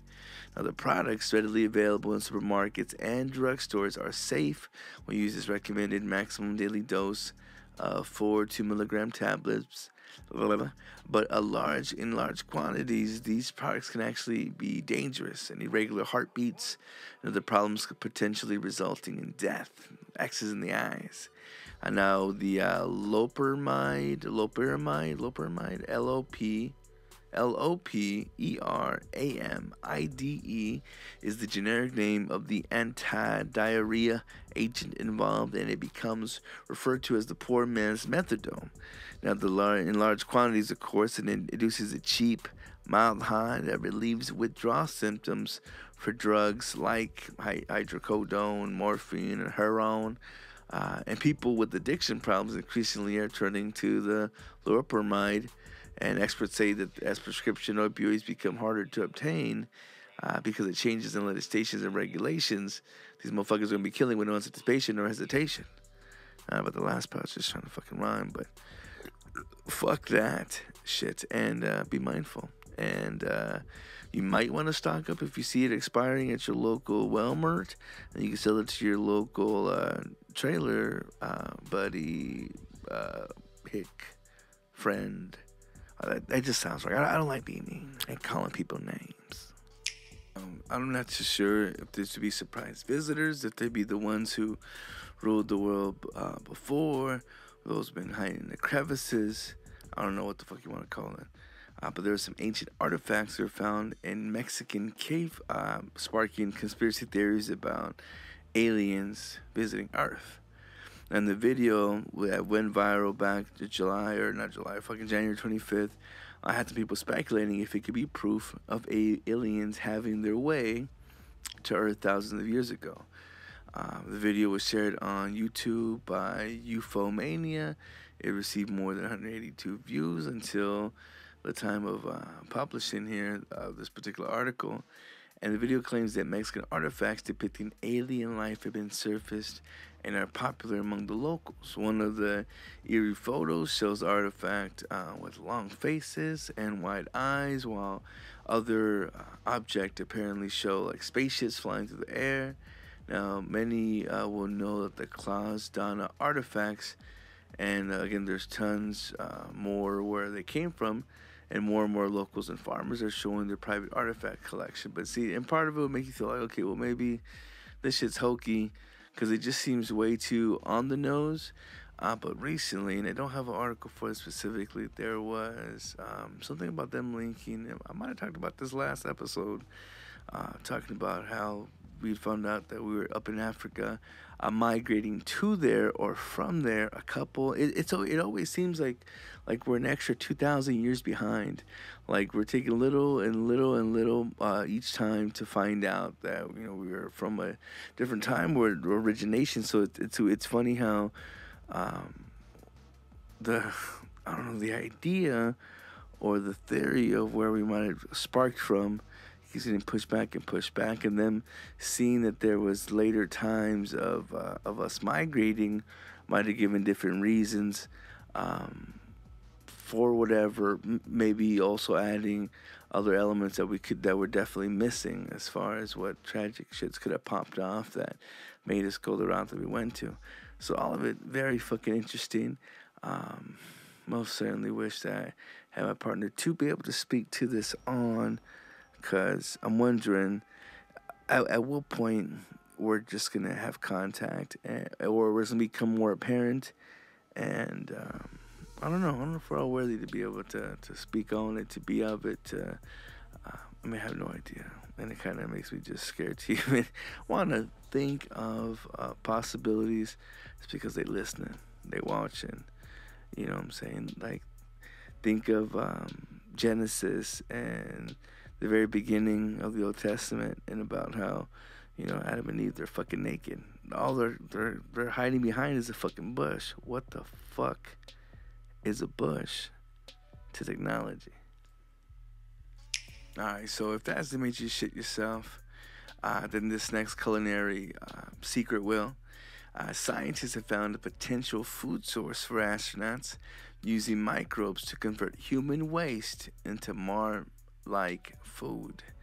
Now, according to the British online newspaper The Independent, researchers at Pennsylvania State outlined a method to break down solid and liquid waste for producing protein and fat rich substance that human waste uh, oh, sorry, from human waste. Oh, that shit came from human waste. From the shit came the shit.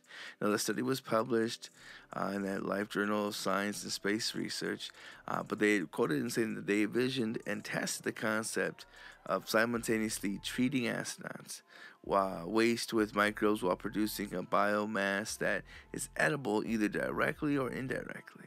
And depending on safety concerns, uh, I guess is what allowed them to to do their shit. Now it's a little strange though, but the concept would be a little bit like marm like uh, marmite. fuck do you say it? Or Vegemite? Uh, they're it's pretty much eating a smear of microbial goo. So I don't know if that just makes your shit diarrhea automatically, or if you have to get that substance from diarrhea. Uh, but anyways, this is quoting from that uh, professor, and saying that food supply is a major hurdle when planning lengthy space flights, and recycling waste into nutritious food is one solution to the problem. Now, according to the House of his colleagues, the method involves uh, anaerobic digestion. What the fuck that is? That's a process that refers to the breakdown of materials, materials uh, to the absence of oxygen. Speaking of fucking oxygen, I've been smoking. It's fucking early goddamn morning. I'm blaming my retardedness on how late it's been taking me to do this. My apologies. But uh, either which way, um, it's considered an efficient way of breaking down biodegradable matter. And researchers uh, said that while their method is not ready for application yet, it provides a new model for creating food on board a spacecraft. So imagine if someone were to fine tune our system, you can get 85% of carbon and nitrogen back from the waste into protein without having to use hydroponics or artificial light. Uh, yeah, sure. Bazinga. Magnetic field is due to flip and is showing signs of shifting at a rate of 5% every century. Now, I know I talked about this uh, last week, but a full reversal could happen in 2,000 years. And we really don't fucking know sometimes where the fuck we at. And no maybe what I don't know. I feel like there's so many time lapse in each other that who knows if we're skipping shit if that makes any sense. Anyways, uh, they're saying it's usual at the north and south magnetic poles to flip over the course of the planet's history. And for the past uh, 20 million years, the pattern of pole reversals take place every 200,000 to 300,000 years and the last time a full reversal took place was approximately 780,000 years ago, based on paleomagnetic research. And between swaps, the poles sometimes attempt to flip and then go back to its original position. So the European Space Agency said that Earth's poles are preparing for a shift, and the impacts could be devastating.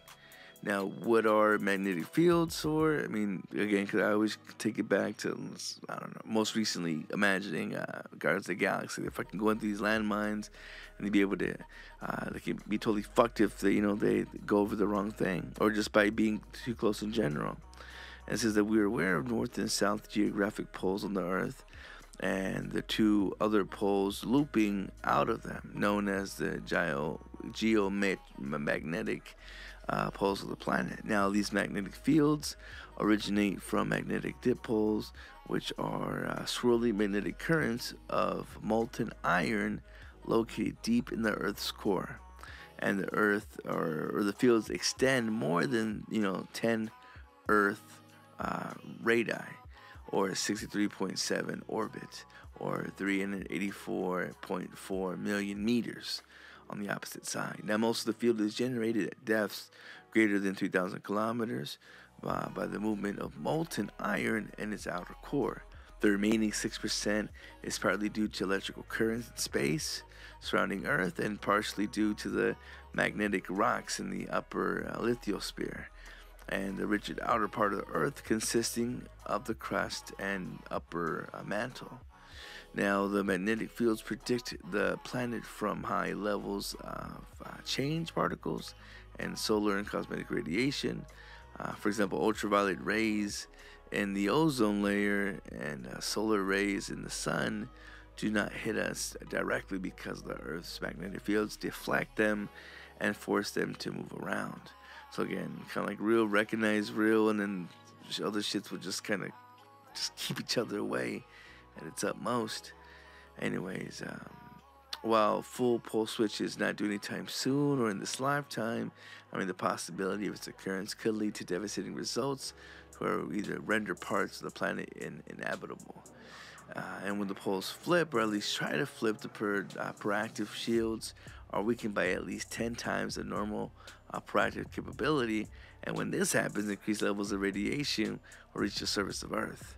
Now, changed particles can also interfere with satellites, um, aviation, and ground based electronic infrastructures. And uh, a weakened uh, magnetic field will likely impact orbiting satellites. So, the switching process can also expose the entire planet to radiation for centuries. And scientists have tried to link potential pole shifts uh, to the mass extinction uh, of species of Earth. So again, I don't know. I don't think it will. I don't know if uh, if there's any way that we can ever uh, pass through loops, or it's just a matter of time. And again, who know who's to know the calculation of shits, or where black holes will push us through.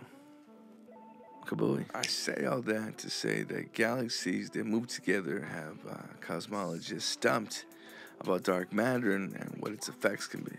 Now, astronomers have discovered that the smaller satellite galaxies around Centaurus A and are engaged in a coordinated dance that seems out of sync with the understanding of large scale structures of the universe. Now, this discovery, described in the Journal of Science, could push phys- uh, physici- uh, physics, phys- physicists, physicists, physicists, motherfucker, you know what I'm trying to say, physicists, uh, to redefine our understanding of dark matter and that the mysterious stuff that forms the universe's cosmic web. Now, unlike normal matter, dark matter doesn't interact with the other matter. It can't be seen or touched, and yet we know that it must be there because there's so much of it that its gravitational influence affect the spinning of galaxies. Spinning of galaxies. Now, there's more than than five times as much dark matter as there's normal matter. Normal matter being the stuff that makes up the stars, the galaxies, Earth, and everything that inhabits it. And there are lots of theories explained, or to explain what matter is, or what dark matter is, I should say. But currently, uh, this prevailing idea is that cold, old dark matter, or I'm sorry, just cold dark matter forms giant clumps connected by dark matter uh, filaments in a cosmic web, literally. And large galaxies like the Milky Way are surrounded by large spheres or halos of dark matter. And these galaxies also typically um, have a sizable uh, quarter area of smaller satellite galaxies around them. And according to our understanding of dark matter, those satellite galaxies should be distributed around uh, their galactic host. Uh, said study co-author Marcel Pawlowski and astrophysicist at uh, astrophysicist at the University of California in Irvine. Now, uh, he said that, that they should be rather randomly distributed, or uh, yeah, just yeah, distributed, and uh, move in more or less random directions if we believe our current understanding of cosmology. Um, but I mean, they they they don't. Uh, apparently, they're saying that take our home galaxy, the Milky Way, out of 11 satellite galaxies with well known velocities, eight seem to be orbiting a tight disk that is perpendicular to the plane of the spiral galaxy. And there could be more galaxies, it's just we just can't see them, again, fucking the dark matter and whatnot. And some patterns seem to apply to a number of the satellites around other galactic neighbors. Andromeda and 15 out of 27 surveyed galaxies are arranged in a narrow plane around a host galaxy. Now, uh, many scientists figure that the Milky Way and Andromeda uh, must be an exception rather than the rule. Uh, they're saying that uh, many astronomers have been concerned about drawing conclusions to the nearest galaxy system, and uh, the census of Milky Way satellite galaxies might be affected by the gas and stars in the galaxy's disk and it's not um, currently possible to gesture motion uh, perpendicular to the plane of the satellites in Andromeda, meaning that its long-term stability, uh, remains unknown. And uh, what else? Well, it says here that um, they looked into northern neighborhoods, but they focused on the galaxy Centaurus A, which lies about 13 million light years away. And Centaurus A an elliptical galaxy that also surrounded by the array of satellites, whether the Milky Way, um, well, wasn't it the exception or, or the rule? It shit remains to be um, figured out. If that makes any fucking sense or sounds confusing, fret not, because we're going to take this motherfucker real Old Testament style and make a sacrifice. Uh, that's right, give pleasant smell to the gods May they take pleasure in what we give. And may it, I don't know, allure them or trick them or get them to pass the fuck out so we can jump into the spaceship and get the fuck out of this galaxy. However, it is, whatever it is, whether you're Muslim, whether you, um, what's the word, third world country indigenous, get ready for some motherfucking.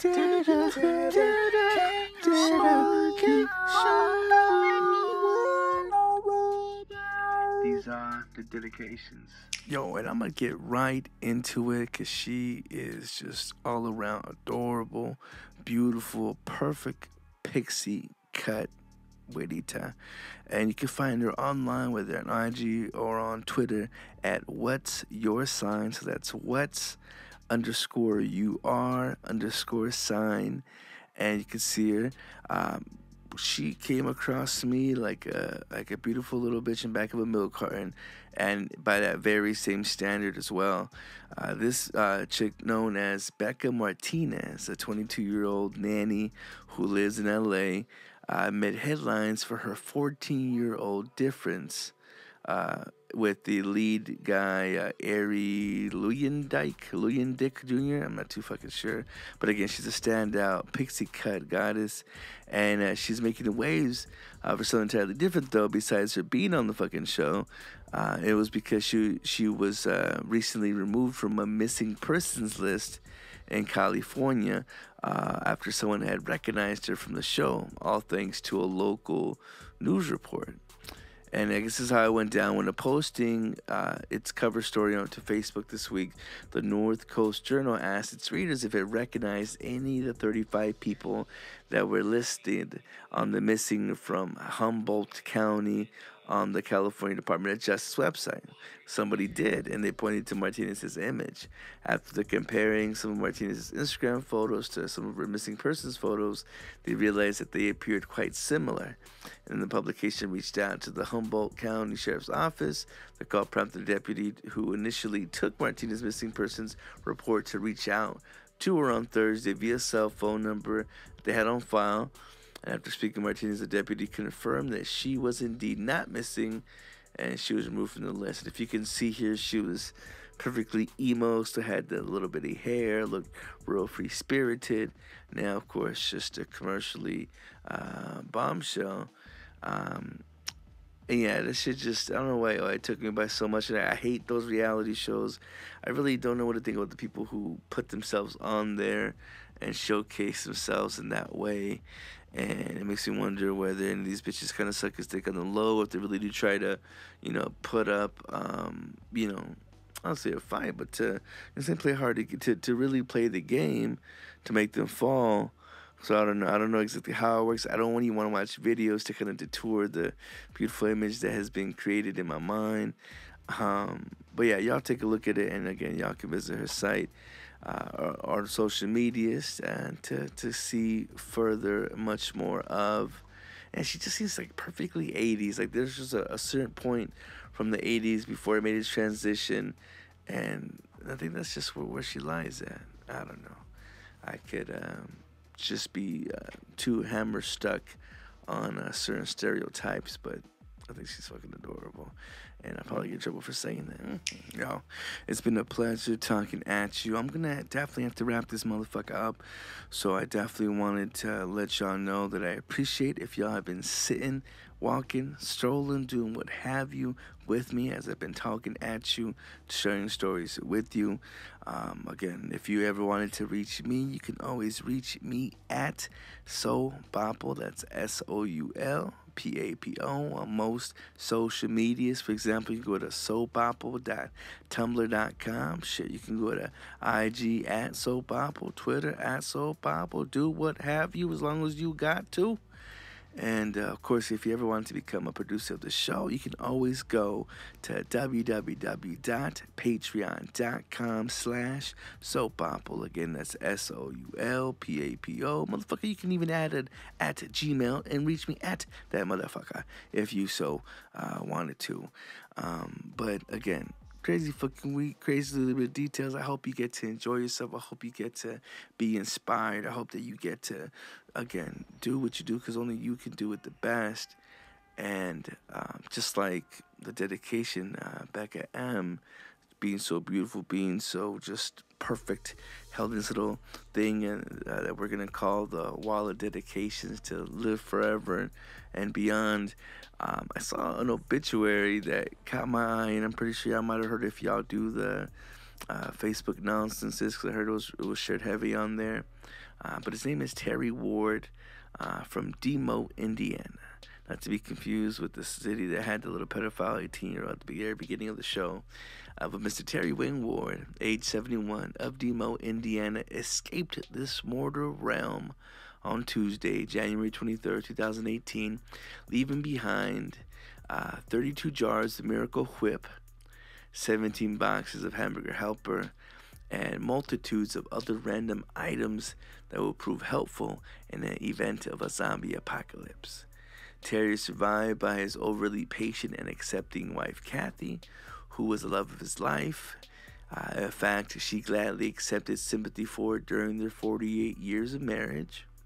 He's also survived by daughters Rebecca, uh, Hines and Jean, uh, Liam, sister Linda, brother Phil, grandchildren Alexander and Hannah Hines, known as the Mesmotopians, uh, Daphne and, and uh, Aaron Pastillo, known as uh, the Daffer and Peanut, Brendan and Owen Lamb, known as uh, Phineas and Ferb, and Teresa McCurry, known as Smiley.